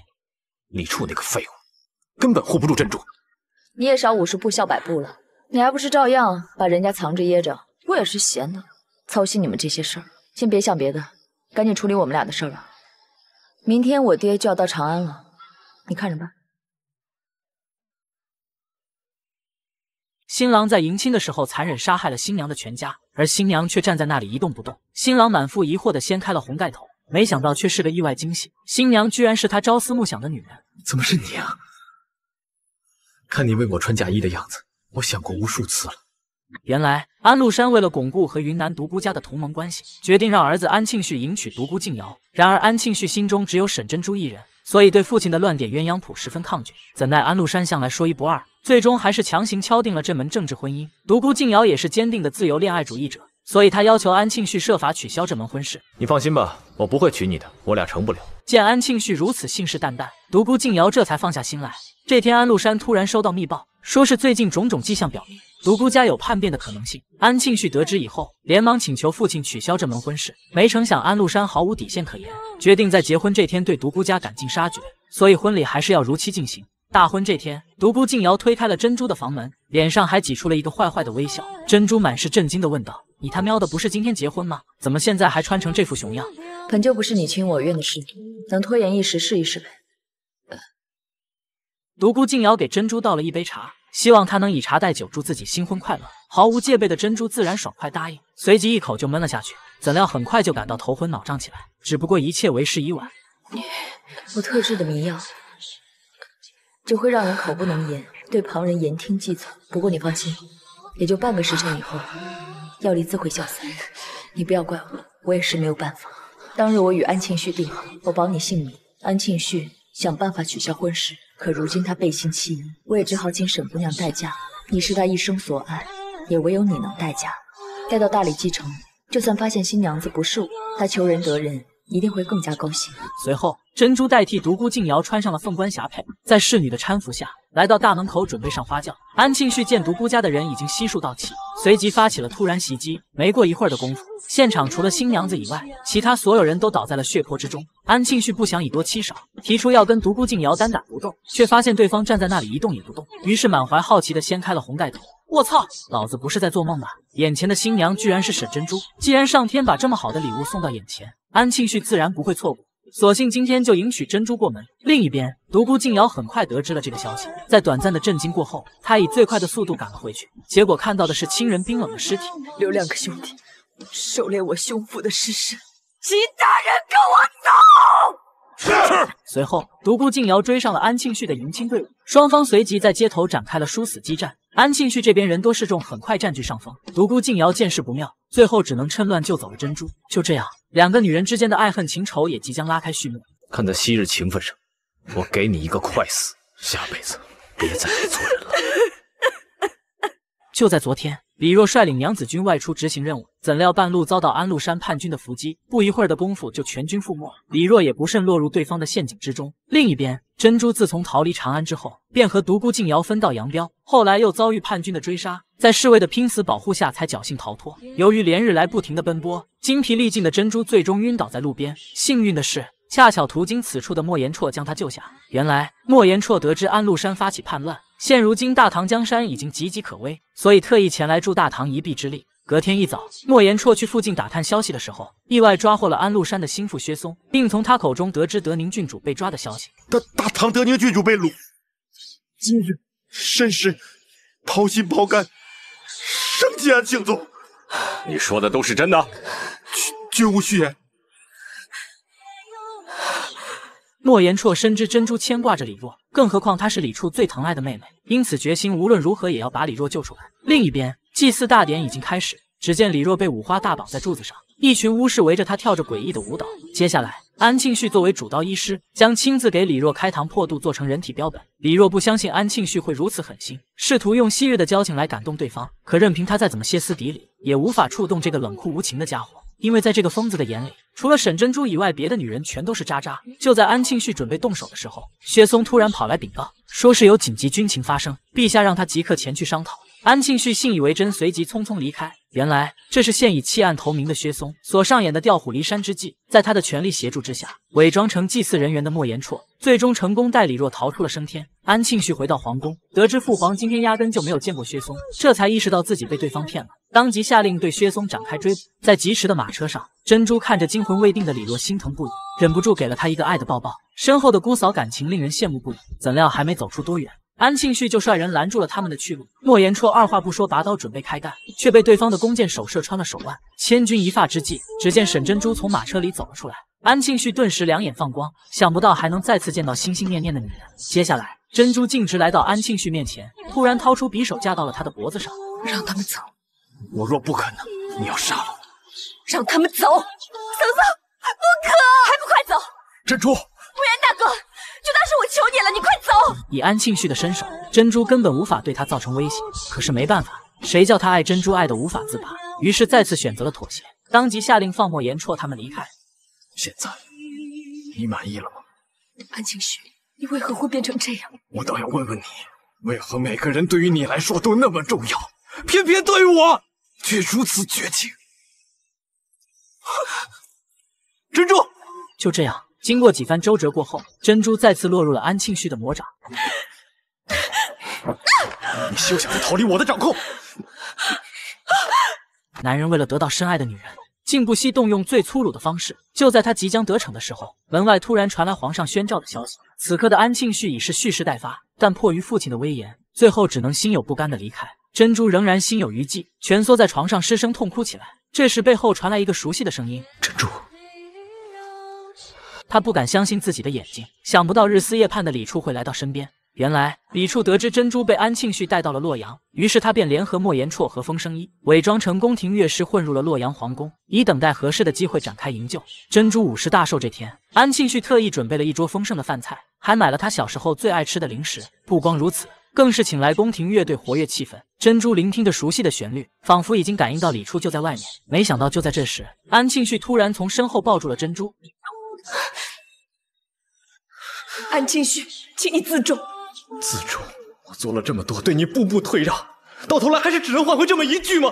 珍珠，你别忘了，你上过我的花轿，你答应要做我的妻子，跟我拜堂成亲的。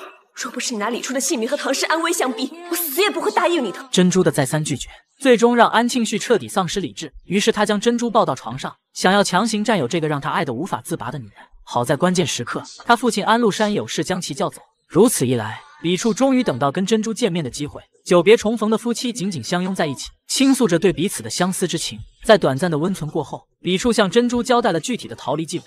隔天，李处等人在太监总管的协助下，提前藏匿在安禄山的寝宫之内。等到晚上，总管伺候安禄山喝下一碗安神汤，很快就让胖子进入了甜蜜的梦乡。紧接着，他又来到珍珠的房间，说是皇上喊他去寝宫打麻将。珍珠顿时心领神会，于是起身跟随总管一起前往。怎料刚到寝宫门口，恰巧遇上前来找安禄山理论的安庆绪，他怎么在这？谁把他带来的？老奴是奉了陛下的旨意，带夫人来此一见呢。老东西，终于忍不住了吗？正好，今日之事，便叫你亲自见证。都守在外面，谁都不许进来。是。你要干什么？来到寝宫，安庆绪让下人全部离开。然后把珍珠拉到了屏风后面，说是让他准备看一场好戏。随后，安庆绪跪在床前，轻声叫醒了正在睡梦中的父亲。儿臣有一事，想问父皇。有事快说，别叫老子睡觉。听说父皇要拟诏册立庆恩为太子。一听儿子敢这么跟自己说话，胖子立刻清醒了过来。是又怎样？你问完了，还不赶快滚！母亲因你而死，庆宗为你而死，你却要将这大好河山拱手送与那贱人之子。鼠子大胆，还不快给我滚！你想怎样？绝不让你这么做。莫非你想杀了我，自己做皇帝？只见安庆绪冷笑一声，回了句有何不可。安禄山勃然大怒，用力一脚把安庆绪踹了出去，并且喊侍卫把这个逆子拖出去千刀万剐。然而他不知道的是，外面的侍卫早就被换成安庆绪的人。安禄山见状想要逃走，却被安庆绪一刀当场毙命。果然是牛逼克拉斯。沈珍珠被眼前的一幕彻底惊呆，没想到安庆绪竟会如此泯灭人性，居然连亲爹都下得去手。这世上再也没有我安庆绪不敢做的事情。如今我已是大燕国的皇帝，而你只能是我的皇后。我不认识你，你已经不是我认识的那个人了。就在这时，藏匿于此的李处等人突然现身，双方随即展开了激烈的搏斗。几十个回合下来。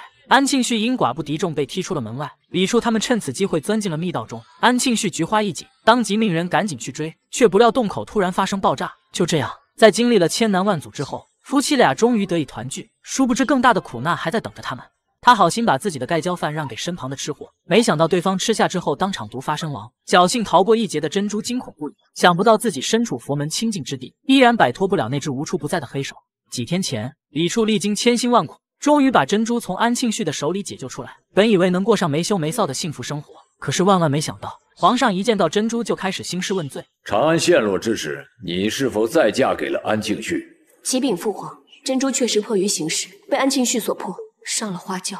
李处十分理解珍珠当时的苦衷，对这件所谓的丑闻并不介意，因此不停的在父皇面前帮他开脱。怎奈在皇后的刻意挑拨之下，皇上依旧认定珍珠损害了皇家颜面，当场下旨让他前往慧净寺代发修行。李处顿时菊花一紧，跪地恳求父皇能够网开一面。可无论他再怎么动之以情、晓之以理，却始终无法让父皇改变主意。就这样，珍珠还没跟李处热乎上几天，就被迫来到尼姑庵继续受苦受难。不过他向来积极乐观，没过多长时间就适应了这里的生活。这天午膳的时候，由于珍珠对香菇过敏，便把自己的饭菜送给了身旁的女子。没想到对方刚吃了一口，腹部就开始剧烈疼痛起来，然后就口吐鲜血，当场饮恨西北。在混乱之中，珍珠无意中看到一个匆匆离开的身影，总觉得有种似曾相识的感觉。此事很快传到了李处那里，为了让珍珠尽快离开这个是非之地，他跟回纥可汗莫言绰商议出一个好办法。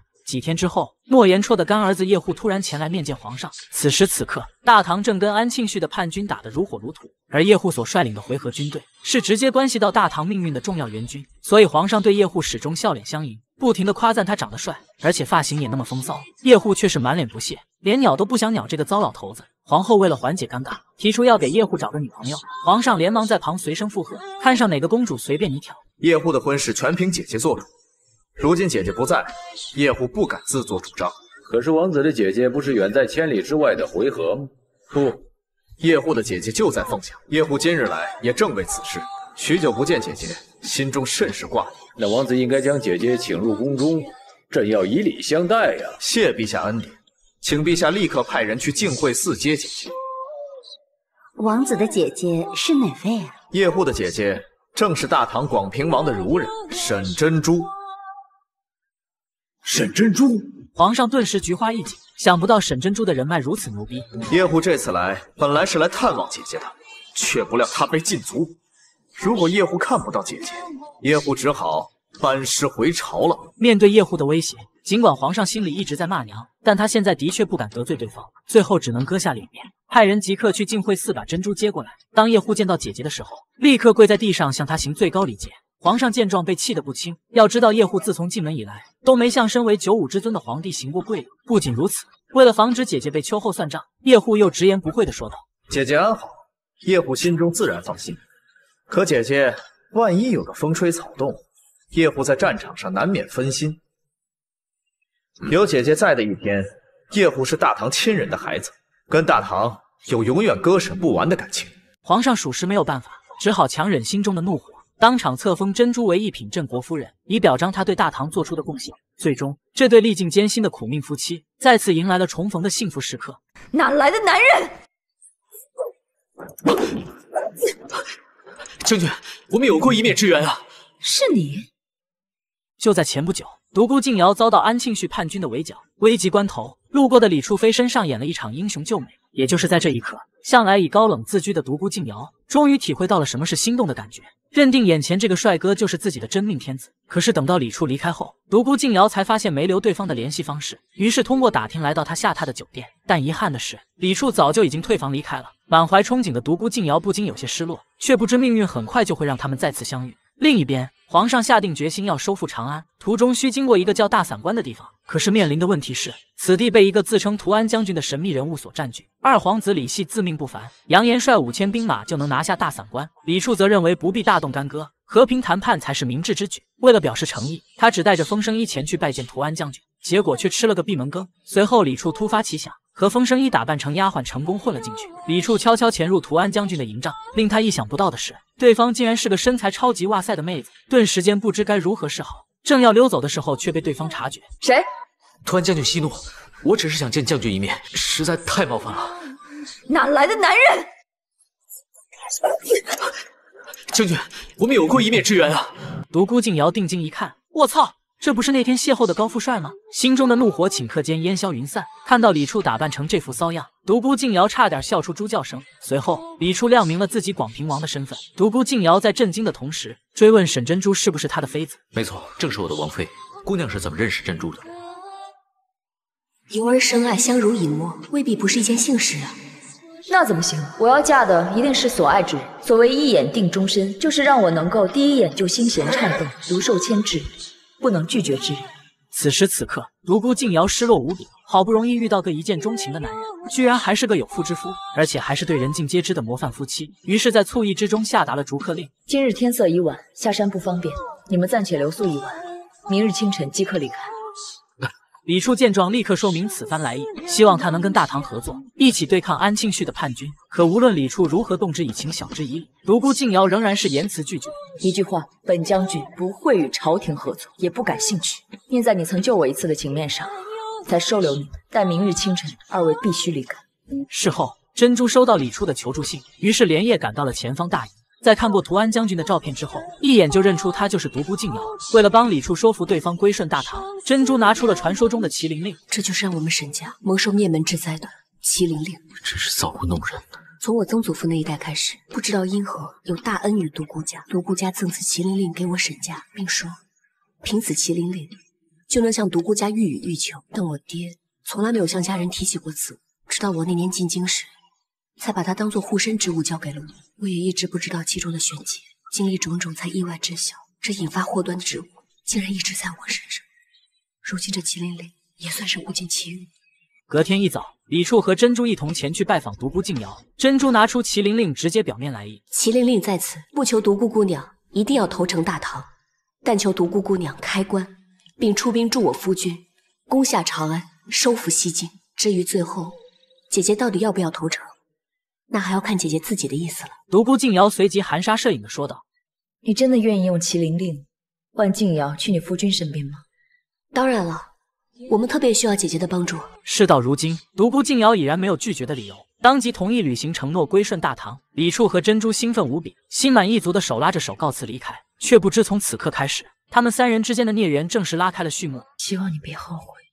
恶毒皇后为了寻求自保，竟狠心捂死了亲生儿子。这一幕让旁边的李谭彻底懵逼。原来李处和珍珠怀疑皇后所生的皇子并非是皇上的亲生骨肉。为了揭发皇后的龌龊行为，珍珠特意来到林志那里，要了一瓶能致人昏睡的药物。随后，他趁着给皇后请安的机会，偷偷将药物涂在了李少的足球上面。果不其然，李少在接触过足球之后，很快就陷入重度昏迷之中。老来得子的皇后心急如焚，但是太医却对此束手无策。随后，李处和珍珠前来面见皇上，说是有个偏方可以让李少苏醒过来。但是需要亲生父亲的血当做药引，为了救宝贝儿子的性命，皇上自然是毫不犹豫的答应。然而这一切都在李处和珍珠的计划之中，因为到时候皇上的血不起作用的话，就可以证明李少并非他的亲生骨肉。就在众人匆匆赶往皇后那里的时候，皇后的侍女灵儿匆匆跑来禀告，说李少刚才已经苏醒过来。这个结果让李处和珍珠感到大惑不解。原来就在刚刚，灵儿拿素瓷刚出生的孩子加以威胁，从他口中得知了李少昏睡不醒的缘由。皇后为了寻求自保。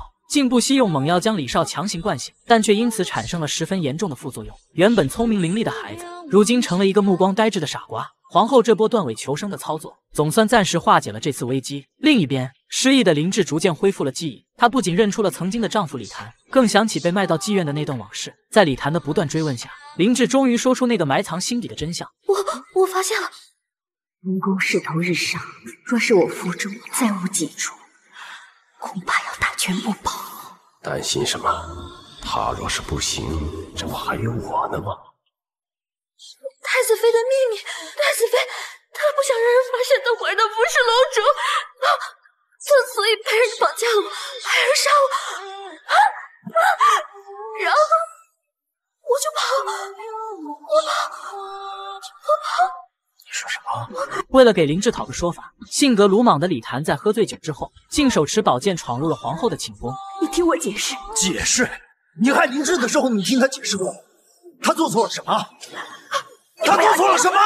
你不要，他那么的善良，他你不要这样。为什么？你为什么要这么对他？啊！没想到皇后被逼得狗急跳墙，转头用手捂住了儿子的口鼻。面对如此丧心病狂的举动，李谭赶忙上前将皇后一把拉开。可是凑巧的是，皇上在这个时候赶到了现场。皇后见状，立刻贼喊捉贼，把黑锅扣在了李谭的头上。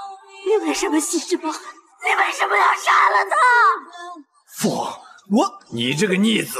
父王，您不要相信他说的话，是他自己亲手捂死李少的。皇后继续她精彩绝伦的表演，最终导致李谭百口莫辩，信以为真的皇上勃然大怒，拔剑准备将这个逆子当场斩杀。幸好李处挺身而出，勇敢的挡在弟弟的前面。此时李谭已然被逼急了眼。索性将皇后的丑闻公布于众。什么亲弟弟啊？是他在外面跟别人厮混生下来的贱种！你胡说，逆子！李谭，你哪儿听到的谣言？你就为了这个才把我的少儿杀死的吗？因为这样一个荒诞而滑天下之大稽的流言，才把我的少儿杀死的吗？你太狠心了！根本就是你自己心虚，亲手杀死了他！陛下，臣妾今日宁愿一死。以证清白，皇后，你干什么？你不可呀！皇后这番歇斯底里的苦肉计，成功赢得了皇上的同情。逆子李谭杀害幼帝，污蔑皇后，七罪当诛，先将他关起来，听候发落。就这样，李谭因为一时冲动，最终将自己送上了一条不归路。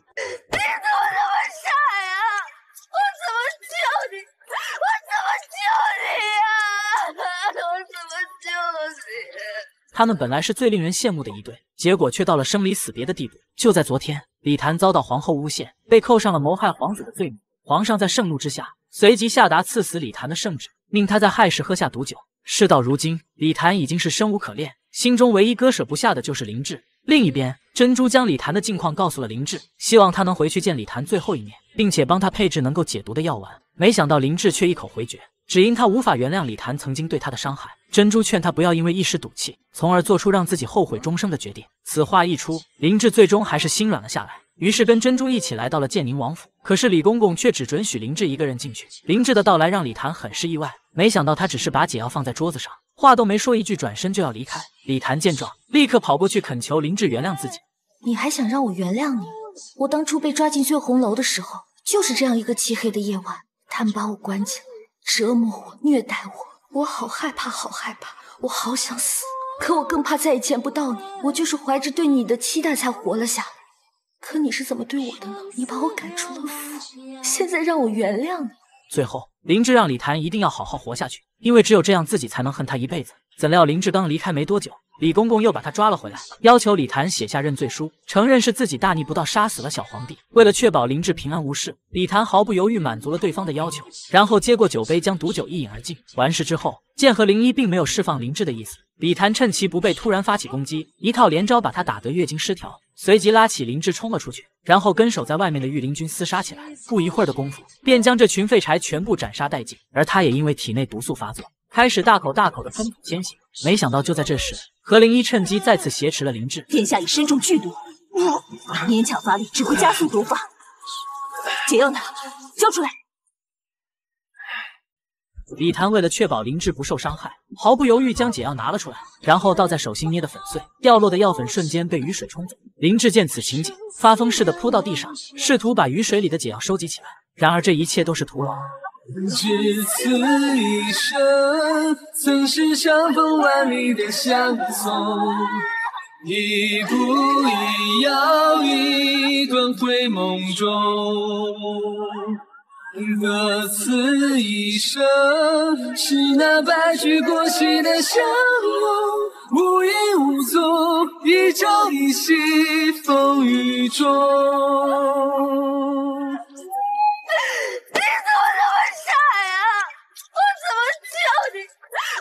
我救你啊？我怎么救你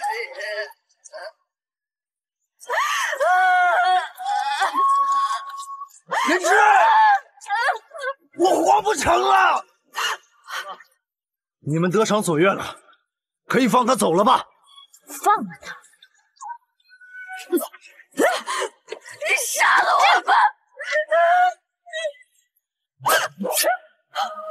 只此一生，曾是长风万里的相送，一步一摇一段回梦中。得此一生，是那白驹过隙的相逢，无影无踪，一朝一夕风雨中。就在这时，风声一及时赶到现场，跟何灵一展开了激烈的交锋。如此一来，这对有情人终于有了最后告别的机会。李谭用尽最后的力气，把同心结又戴到了灵芝的手上。你不能死，你不能死！你欠我的还没有还给我，你不能死，你不能，不能，不能，不能死，不能死，不能死，千万傻妹子，傻妹子，傻妹子，男人的好，做起。啊啊啊！李谭，李谭，李谭！可是我还没有，王大哥。话还没说完，李谭最终带着遗憾死在了灵芝的怀里。就在这时，李处和珍珠也赶了过来，看到疼爱的弟弟已经饮恨西北，李处因悲伤过度而晕倒在地。这是男人第二次结婚，新娘的待遇却非同一般，正房夫人居然亲自为他们操办婚礼。虽然珍珠看起来轻松随意，其实心中满是心酸和无奈。原来就在几天前，独孤静瑶在茶楼和史思明见面，没想到对方居心叵测，事先在房间里点了迷香。独孤静瑶很快就感到全身无力，而桌上的酒正是解药。史思明知道他谨小慎微，绝逼不喝自己准备的酒，所以轻而易举就达到了目的。等史思明离开后，独孤静瑶艰难的拿起酒壶，怎料还没来得及喝一口，就被人夺下。定睛一看，居然是李系这个小色批。其实这是皇后设下的圈套，其目的就是把生米煮成熟饭，从而迫使独孤静瑶不得不嫁给李系。好在关键时刻，李处及时赶到现场，盛怒之下一脚把李系踹了出去。独孤静瑶不堪受辱，掏出匕首想要自我了断。好在李处眼疾手快，一把将其抱入怀中。这一幕像极了两人初次见面的情景。此时的独孤静瑶安全感满满，随即放心的昏睡过去。第二天，静瑶醒来后，惊讶的发现自己居然身在广平王府，并且从侍女的口中得知，如今的长安城已是流言四起，说是李处和李系两个皇子为了争风吃醋而大打出手，这让独孤静瑶一时间不知该如何是好。随后，珍珠特意前来看望他，怎料他居然卸下平日坚强的伪装，声泪俱下的向珍珠寻求帮助。若殿下不要我，我怕是难逃皇后和赵王为我设下的网了。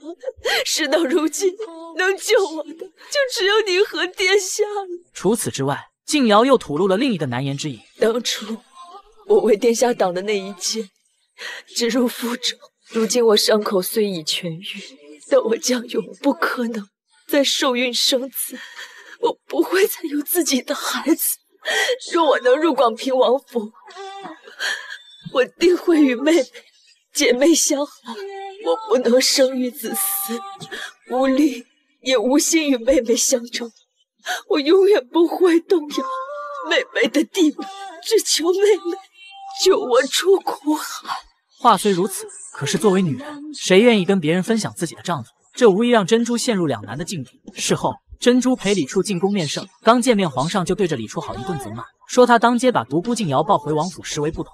虽然是出手相助，但毕竟男女授受不亲，如今闹得满城风雨，皇室威严和独孤静瑶的名声都面临威胁。珍珠见状，立刻在旁顺水推舟。殿下与独孤将军多次并肩作战，早已情投意合，所以独孤将军出了意外，殿下才会如此紧张，稍逾越了礼数，还请父皇体谅。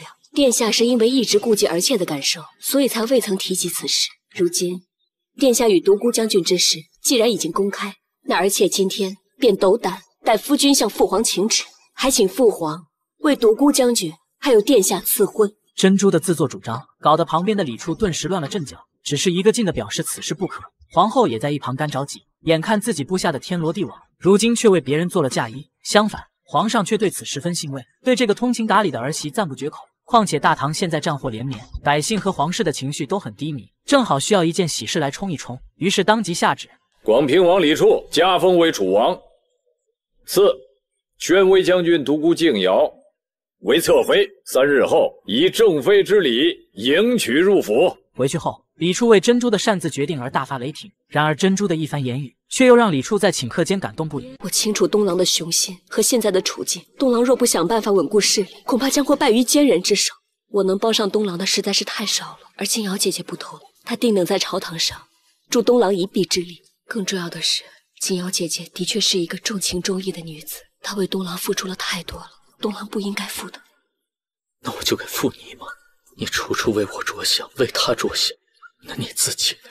我虽然心有不甘，但是如果要让我在成全自己和成全东郎之间做出选择，我自然不顾一切要成全东郎。就这样，独孤静瑶终于如愿以偿嫁给了李处。殊不知，夹在一对相爱之人的中间，那将会是无穷无尽的痛苦。男人第一次跟两个老婆同桌吃饭，气氛多少有些尴尬。李处习惯性的给珍珠夹菜，突然意识到忽略了旁边的独孤静瑶，于是连忙将一碗水端平。为了缓和气氛，静瑶提议喝杯小酒助助兴。李处爽快同意，吩咐管家去把王妃最喜欢的酒具拿来，却被告知那套酒具在战乱中遗失了几只酒杯，现在就只剩下两只了。两只怎么喝？不碍事的，静瑶用一个，我和珍珠合用一个就好了。为了照顾静瑶的感受，珍珠立刻说道：“谁要跟你共用一只啊？怎么这么不讲究？”张德玉，你去把那套雕花青瓷的酒具拿来吧。啊，是。按照事先约定，李处今天要来静瑶这里玩耍。静瑶为此特意画了个美美的妆容，并准备了几样精致的茶点。就在满心期待李处到来的时候，却被告知对方已经去了珍珠那里。想到自己的一片真心，竟被李处如此冷漠对待，静瑶的心情瞬间跌落谷底。于是，一怒之下挥手打翻了茶具，爪子被开水烫伤也浑然不知。为了排解心中的烦闷，只好来到院子中舞刀弄剑。完事之后，发现珍珠正在不远处看着自己。面对珍珠的关切慰问，静瑶却认为他在看自己的笑话。你来看我笑话？我绝对没有这个意思，我只是有些担心你。我独孤静瑶不需要别人的同情。此刻珍珠的心里满是内疚，为了给静瑶和李处创造独处的机会，他在留下一封书信之后，便偷偷带着儿子踏上了前往洛阳的旅程。李处看后心急如焚，正打算前去把他们娘俩追回来，却不料前线战况危急，皇上命他和独孤静瑶即刻率军支援。行军途中，李处对静瑶呵护备至，这让静瑶受宠若惊，先前累积的怨气顿时烟消云散，冰冷的脸上终于浮现出灿烂的笑容。就在这时，一场暴雨来得猝不及防，李处随即将披风遮在了静瑶头上，静瑶为此感动不已，于是温柔的把披风分给了李处一半。然而幸福的时光总是短暂的，就在静瑶完全沉醉其中的时候，大雨却不合时宜的停了下来，她只好意犹未尽的看着李处将披风收起。这天，李处独自在河边喝起了闷酒，在静瑶的追问之下，他才道出了其中缘由。原来今天是儿子李阔的生日，他曾经跟珍珠立下约定，每年的今天都要陪孩子一起度过。可如今却不得不分隔两地，话语间满是对珍珠的愧疚和思念。独孤静瑶听后顿感失落，因为他知道，无论自己再怎么付出，也无法代替珍珠在李处心里的位置。然后便默默的转身离去。经过几个月的艰苦奋战，李处所率大军终于凯旋而归。皇上龙颜大悦，在对夫妻二人大加赞赏的同时，并给予了丰厚的赏赐。为表示庆祝，独孤静瑶特意准备了丰盛的饭菜，打算跟李处今夜喝个痛快，顺便做一些不可描述的事情。可是婢女带回来的消息，又将他硬生生的拉回了现实。殿下已经离开了王府，去了，去了洛阳。静瑶看着满桌饭菜，不禁苦笑，然后便开始自斟自酌起来，因为只有酒精才能麻痹他痛苦的内心。而另一边，李处冷不丁的突然出现，着实给了珍珠一个大大的惊喜。东郎，你怎么来了？我跟父皇复完命，就马不停蹄的赶过来了，连赶了好几天。你以后可不准不听我的话，到处乱跑了。我知道，但是……嘘，娘子要教育我，回头再说吧。或许这就是爱与不爱的区别吧。堂堂王妃居然向小妾下跪道歉，可对方却没有原谅他的意思。除非珍珠愿意让出王妃之位。面对独孤静瑶如此过分的要求，珍珠一时间不知该如何回应。没想到静瑶却是变本加厉：“王妃之位，你到底让不让？你若不肯让，趁早给我滚开！”话音刚落，李处就满脸怒气的走了进来，斥责静瑶不要太过分，然后温柔的将珍珠扶起。我早就跟你说过，我的心中只有沈珍珠一人，过去是，现在是，将来也是，其他人我不曾想过。我根本就……李处的这番话，无疑将独孤静瑶彻底打入深渊，最终因爱成恨，产生了报复心理。原来就在刚刚，独孤静瑶正要喝粥的时候，发现里面有一团没有化开的白色粉末，凑在鼻子上仔细闻了闻，没想到竟是见血封喉的毒药。通过一番简单的询问，很快就查出珍珠的丫鬟素瓷曾经去过厨房。静瑶随即把素瓷压到珍珠面前讨要说法。珍珠对素瓷的秉性十分了解，相信她绝不会无缘无故做出这种事来。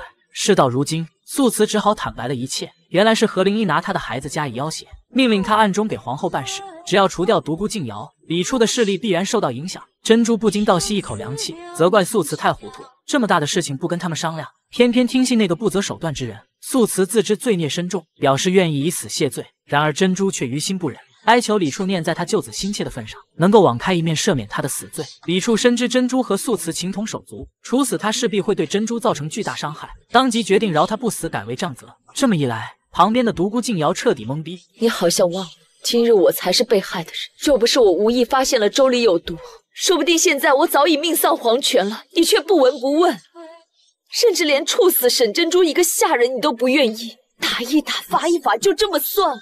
殿下，你究竟有没有把我当做你的妃子？说完便伤心的转身离去。随后，珍珠来到独孤静瑶面前，诚恳的向其下跪道歉。可长期以来受到的冷落和委屈，已然让静瑶变得心如死水。面对跪在面前的珍珠，她居然能做到无动于衷，犀利的目光更是令人不寒而栗，并且大言不惭地说：“要想得到老娘的原谅，除非你愿意让出王妃之位。”看着沉默不语的珍珠，静瑶积攒的情绪彻底爆发，因为在她的眼里，珍珠就是个赤裸裸的虚伪小人。我我过去还以为你真心实意想帮我，原来你不过是需要一个在你身边陪衬你跟殿下恩爱的人。静瑶妹妹，到底是为什么让你对我产生了这么大的误会？嫁入府中这些日子，我算是看明白了，你之所以愿意让我入府，不过是因为你知道你有的是办法，要殿下心中只爱你、只疼你一个。从头至尾，你就想霸占着殿下，根本不想让他对我有一分二分的青睐。我从来没有过这个意思，可能我和殿下是少时夫妻，会更加亲密一些。可是如果妹妹陪伴殿下时日更长一些，还要多久？一辈子吗？王妃之位，你到底让不让？你若不肯让，趁早给我滚开！门外的李处火冒三丈，立刻化身成为护妻狂魔，在指责独孤静瑶太过分的同时，并且声明他心里面永远只有珍珠一个人，别的女人都是渣渣。说完便拉起珍珠一同离开。只留下静瑶独自泪如雨下，心中仅存的一丝希望也随之熄灭。殿下，是你逼我的，只有我，我才是真正能够帮助殿下成就大业的女人。这是我见过最不要脸的女人，她为了独自占有丈夫，居然使用最卑鄙的方式逼迫王妃离开。原来就在昨晚，李处喝了独孤静瑶泡的茶水，一出来就感到头晕目眩，接着就倒在了男朋友怀里。事后又出现吐血的症状，太医换了好几波，却始终查不出李处的真正病因。看着吐血不止的李处，珍珠急得像热锅上的蚂蚁。反观独孤静瑶，她只是在旁冷漠的看着发生的一切，眼神里还透着几分幸灾乐祸，然后悄无声息的离开了房间。李处病重的消息很快传到后宫，皇后可谓是兴奋至极，决定让李希趁此大好时机搞点事情。皇上得知儿子病重，特意派首席专家前来问诊。一番诊断过后，江御医不禁眉头紧锁，因为李处的脉象十分罕见，像是中了一种叫云南蛊毒的剧毒。沈珍珠一听，立刻联想到独孤静瑶正是云南出身，再加上他对李处漠不关心的态度，猜到此事或许跟他有关。随后，珍珠来到独孤静瑶面前试探口风，没成想他倒是光明磊落，直接就承认了下毒的事情。这毒，当今世上也只有我才能解。若三日之内殿下再不服下解药，蛊毒将会沁入心脉，到时候就是一个手脚瘫软无力的废人。你到底想要做什么？独孤静瑶的条件是珍珠必须离开李处，并且今生今世都不能再出现。如此过分的要求，珍珠自然不会答应。然而独孤静瑶接下来的话，却让珍珠彻底无言以对。自从我来到他的身边，他为你做的数次决断，不但令我伤心，更令我失望。有你在，不仅无益于殿下，更是他的牵绊，他的麻烦。你只会成为别人来攻击他的软肋。只有我。我才是真正能够帮助殿下成就大业的女人。回到房间，珍珠看着昏迷之中，就在众人束手无策的时候，就让意图浑水摸鱼的李系知难而退。珍珠得知后，十分庆幸有独孤静瑶的存在，紧接着又感到自卑起来，因为在大事面前，她什么忙也帮不上，不禁认同静瑶先前所说的话：我才是真正能够帮助她成就大业的女人。考虑到李处的宏图伟业，他当即做出一个重要的决定：独狼，恐怕我这次。又要自作主张，你醒来可不要生气，我绝对不能让你有事。随后，珍珠默默来到独孤静瑶面前，表示自己答应他之前提出的条件，只希望他能交出解药，让李处完完整整的苏醒过来。透露半个字。事到如今，珍珠只能继续妥协，答应了独孤静瑶所提出的所有条件。看着病榻上昏迷不醒的李处，珍珠有着太多的不舍和无奈。虽然两人相爱至深，但路上总是充满荆棘和坎坷，于是强忍足以令人窒息的酸楚。魂不守舍地写下一纸冰冷的和离书，只不过他有说不出口的苦衷。原来，身为妾室的独孤静瑶为了上位，竟狠心给李处下了一种奇毒，以此来要挟珍珠自行离开王府，否则他就不会交出解药。珍珠不能眼看深爱的丈夫出事，于是同意了他的无理要求，回去便写下了一纸和离书。毫不知情的李处苏醒过来，本想跟珍珠亲密互动一番，没想到对方的态度却是异常冷漠。苦苦哀求珍珠不要离开，可珍珠为确保独孤静瑶交出解药，只能继续说着言不由衷的狠话。此时此刻，李处哭得像个无助的孩子，突然间又瞥见桌上的和离书，虚弱的身体开始微微颤抖起来。李处跪在地上，强行将其拉住，愤怒和占有欲同时涌上心头，皇上教主，声称自己还有一件事请奏。而妾沈珍珠才德不淑，楚王王妃之位当之有愧，所以恳请和楚王殿下和离。还望父皇恩准。由于之前的种种原因，皇上本来就对珍珠心怀芥蒂。既然他主动开了这个口，于是便同意了他的请求。陈珍珠自行写下和离书，离开王府。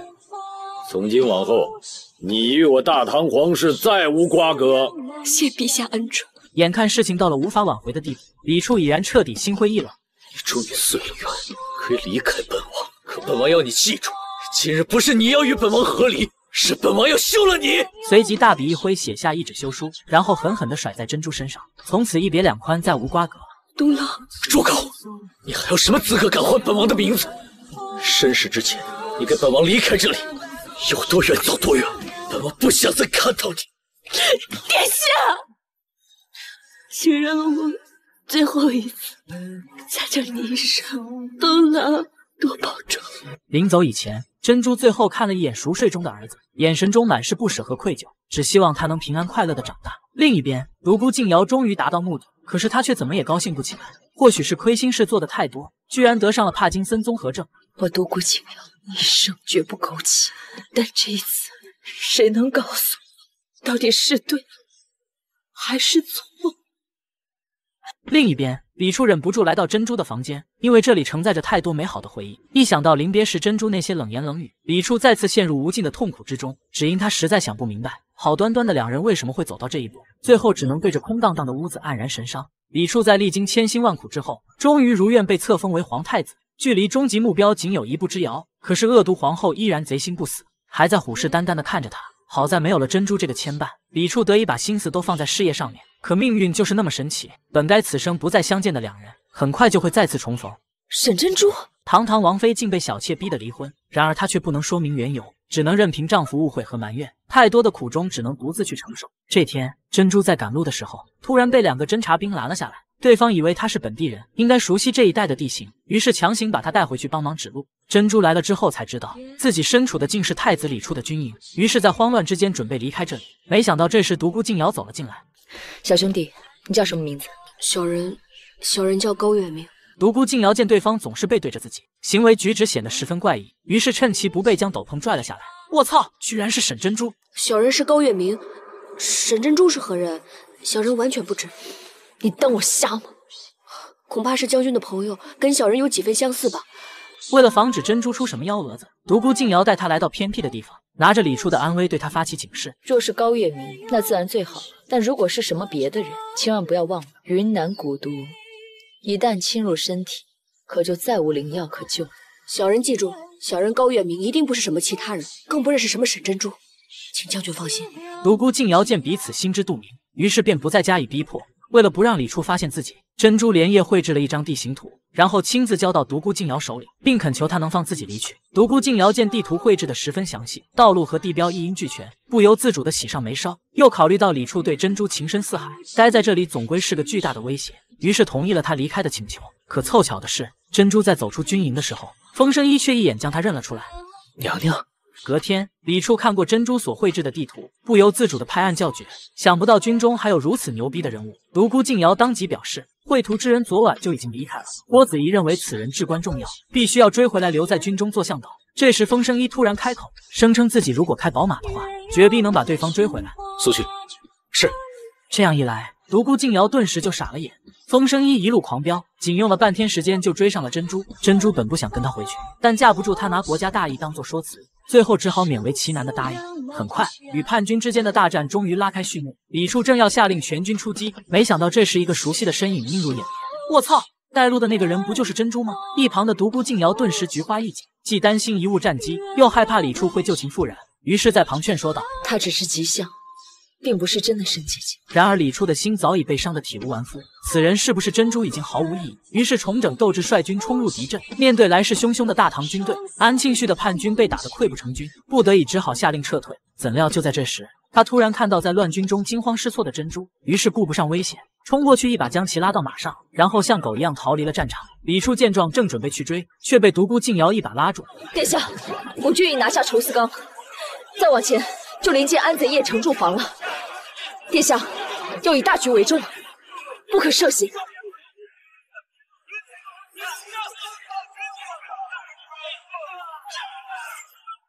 回阳。少妇刚离婚，却再次穿上了嫁衣，脸上写满了惆怅和无奈，因为眼前这个男人令她心生厌恶。与之相反，看着惊艳无比的珍珠缓缓的走来，安庆绪忍不住热泪盈眶，只因多年以来的夙愿终于得以实现。原来，安庆绪自从遭到唐军重创以来，整个人开始变得颓废不堪，每天都沉浸在歌舞享乐之中，曾经的豪情壮志早已消失殆尽。如今，唯一令他感到庆幸的，那就是珍珠还在他的掌控之中。于是，决定在穷途末日之际疯狂一次，让此生挚爱的女人成为自己的妻子。可是，嫁衣拿来之后，珍珠却是死活不肯穿上。安庆绪恼羞成怒，随即将怒火撒到了宫女身上。你不喜欢，既然这样的话，朕留着他们有何用？安庆绪，你是不是疯了？你放心，他们死了，我自会找人做新的。再不喜欢，再换便是，直到你满意为止。你这个疯子！珍珠生性善良，不希望更多无辜的人因为自己而丧命，最终在被逼无奈之下选择妥协。隔天一早，珍珠穿上华丽的凤衣出现在大殿。此时此刻，安庆绪感觉像是做梦一般，因为这是他渴望了一辈子的场景。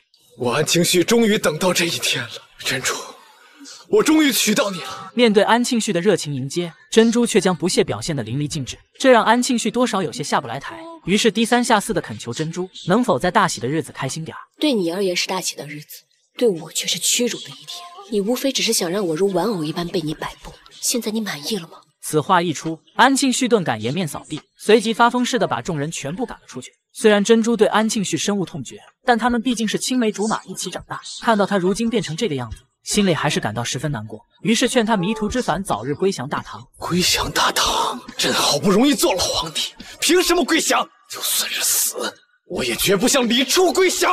眼看安庆绪仍旧执迷不悟，珍珠也无心再跟他多费口舌。怎料当天晚上，安庆绪为了向珍珠道歉，竟特意带她来到湖边赏月。安详静谧的画面，像极了他们小时候所看到的那样。此刻皎洁无瑕的月光，在安庆绪凶恶的脸上蒙上了一层温柔。珍珠也在不知不觉中心软。尽管她始终无法接受安庆绪的追求，但念在往日的情分上，实在不忍心看他白白丢掉性命，于是再次尝试劝他归降大唐。只要你肯放弃执念，一切都还来得及。二哥，你就信珍珠一次，归顺大唐吧。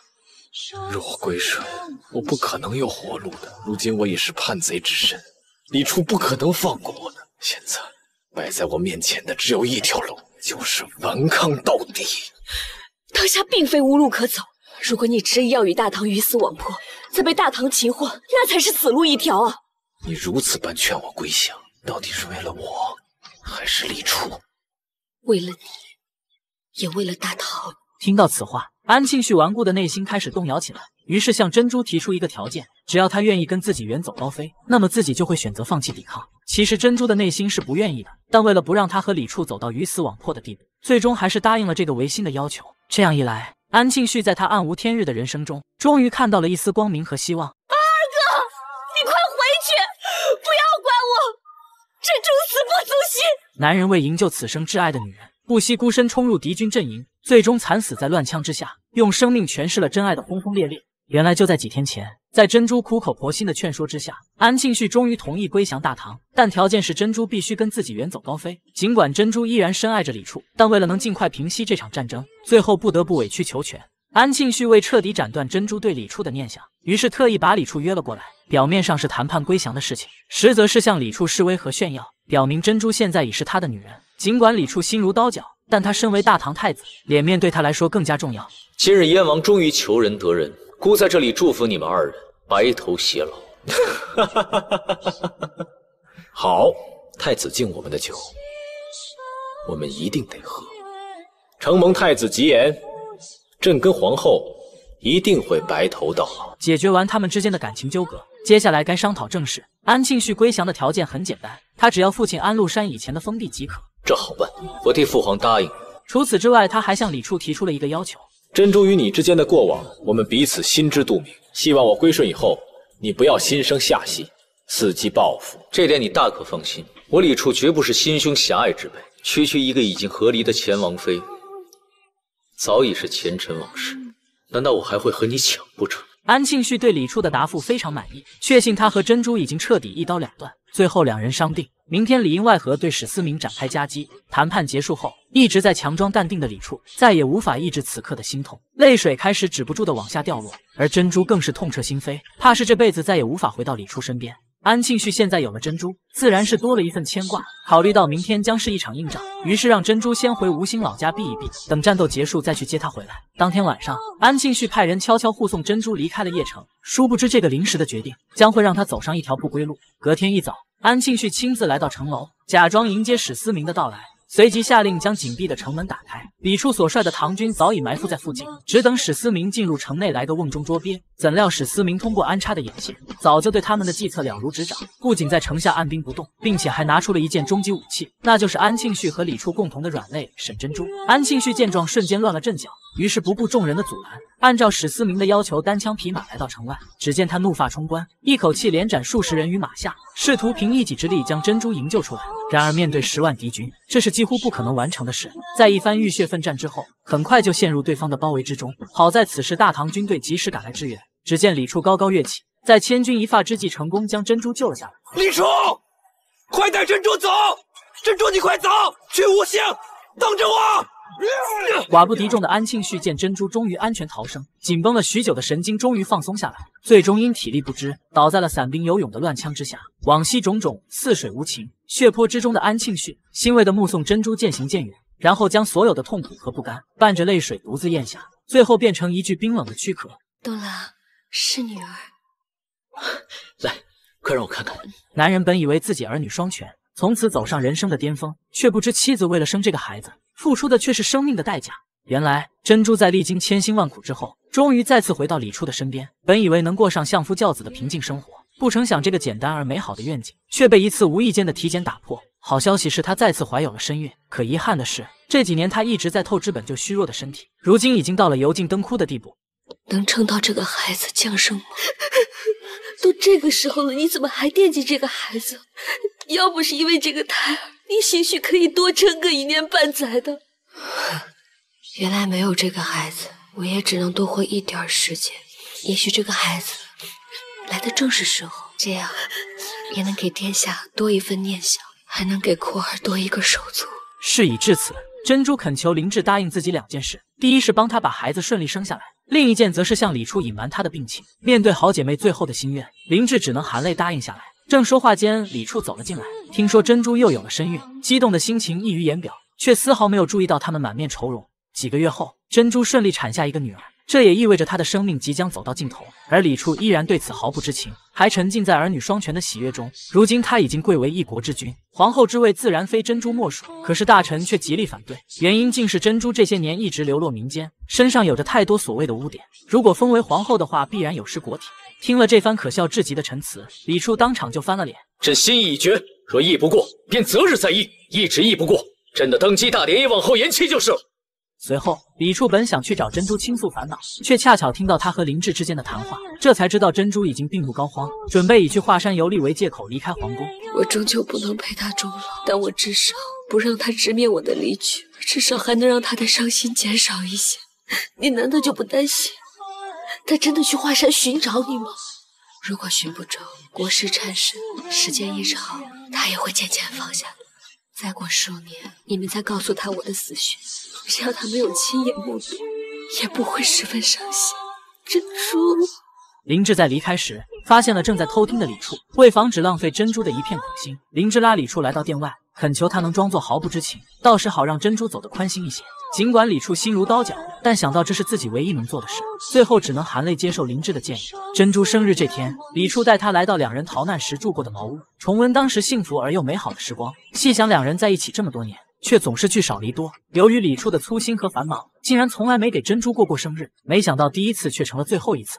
转眼到了登基大典这天。珍珠特意前来向李处告别，并嘱咐他一定要做个好皇帝。此刻就算是千言万语，也无法表达依依不舍的心情，只好化作一个深情的拥抱。他们彼此心知肚明，这将是他们之间最后的永别。当珍珠踏上离别的马车时，并不知道眼前的车夫会是李处，因为就算是缺席登基大典，他也要送珍珠最后一程。马车行驶到醉仙楼门前，珍珠特意在这里下了车，只因此地是他和李处相识的地方。恍惚间，珍珠仿佛看到他们当年的身影，一个是女扮男装的自己，另一个是抢走她醉仙酿的富家公子。珍珠正看得入迷，却没有察觉车夫已经换成了别人。就在这时，她在人潮中瞥见一个熟悉的身影，可是转眼间又消失不见，于是淡然一笑，放弃了寻找。只此一生，曾是相逢万里的相送，一步一摇一段回梦中。得此一生，是那白驹过隙的相拥，无影无踪，一朝一夕，风雨中。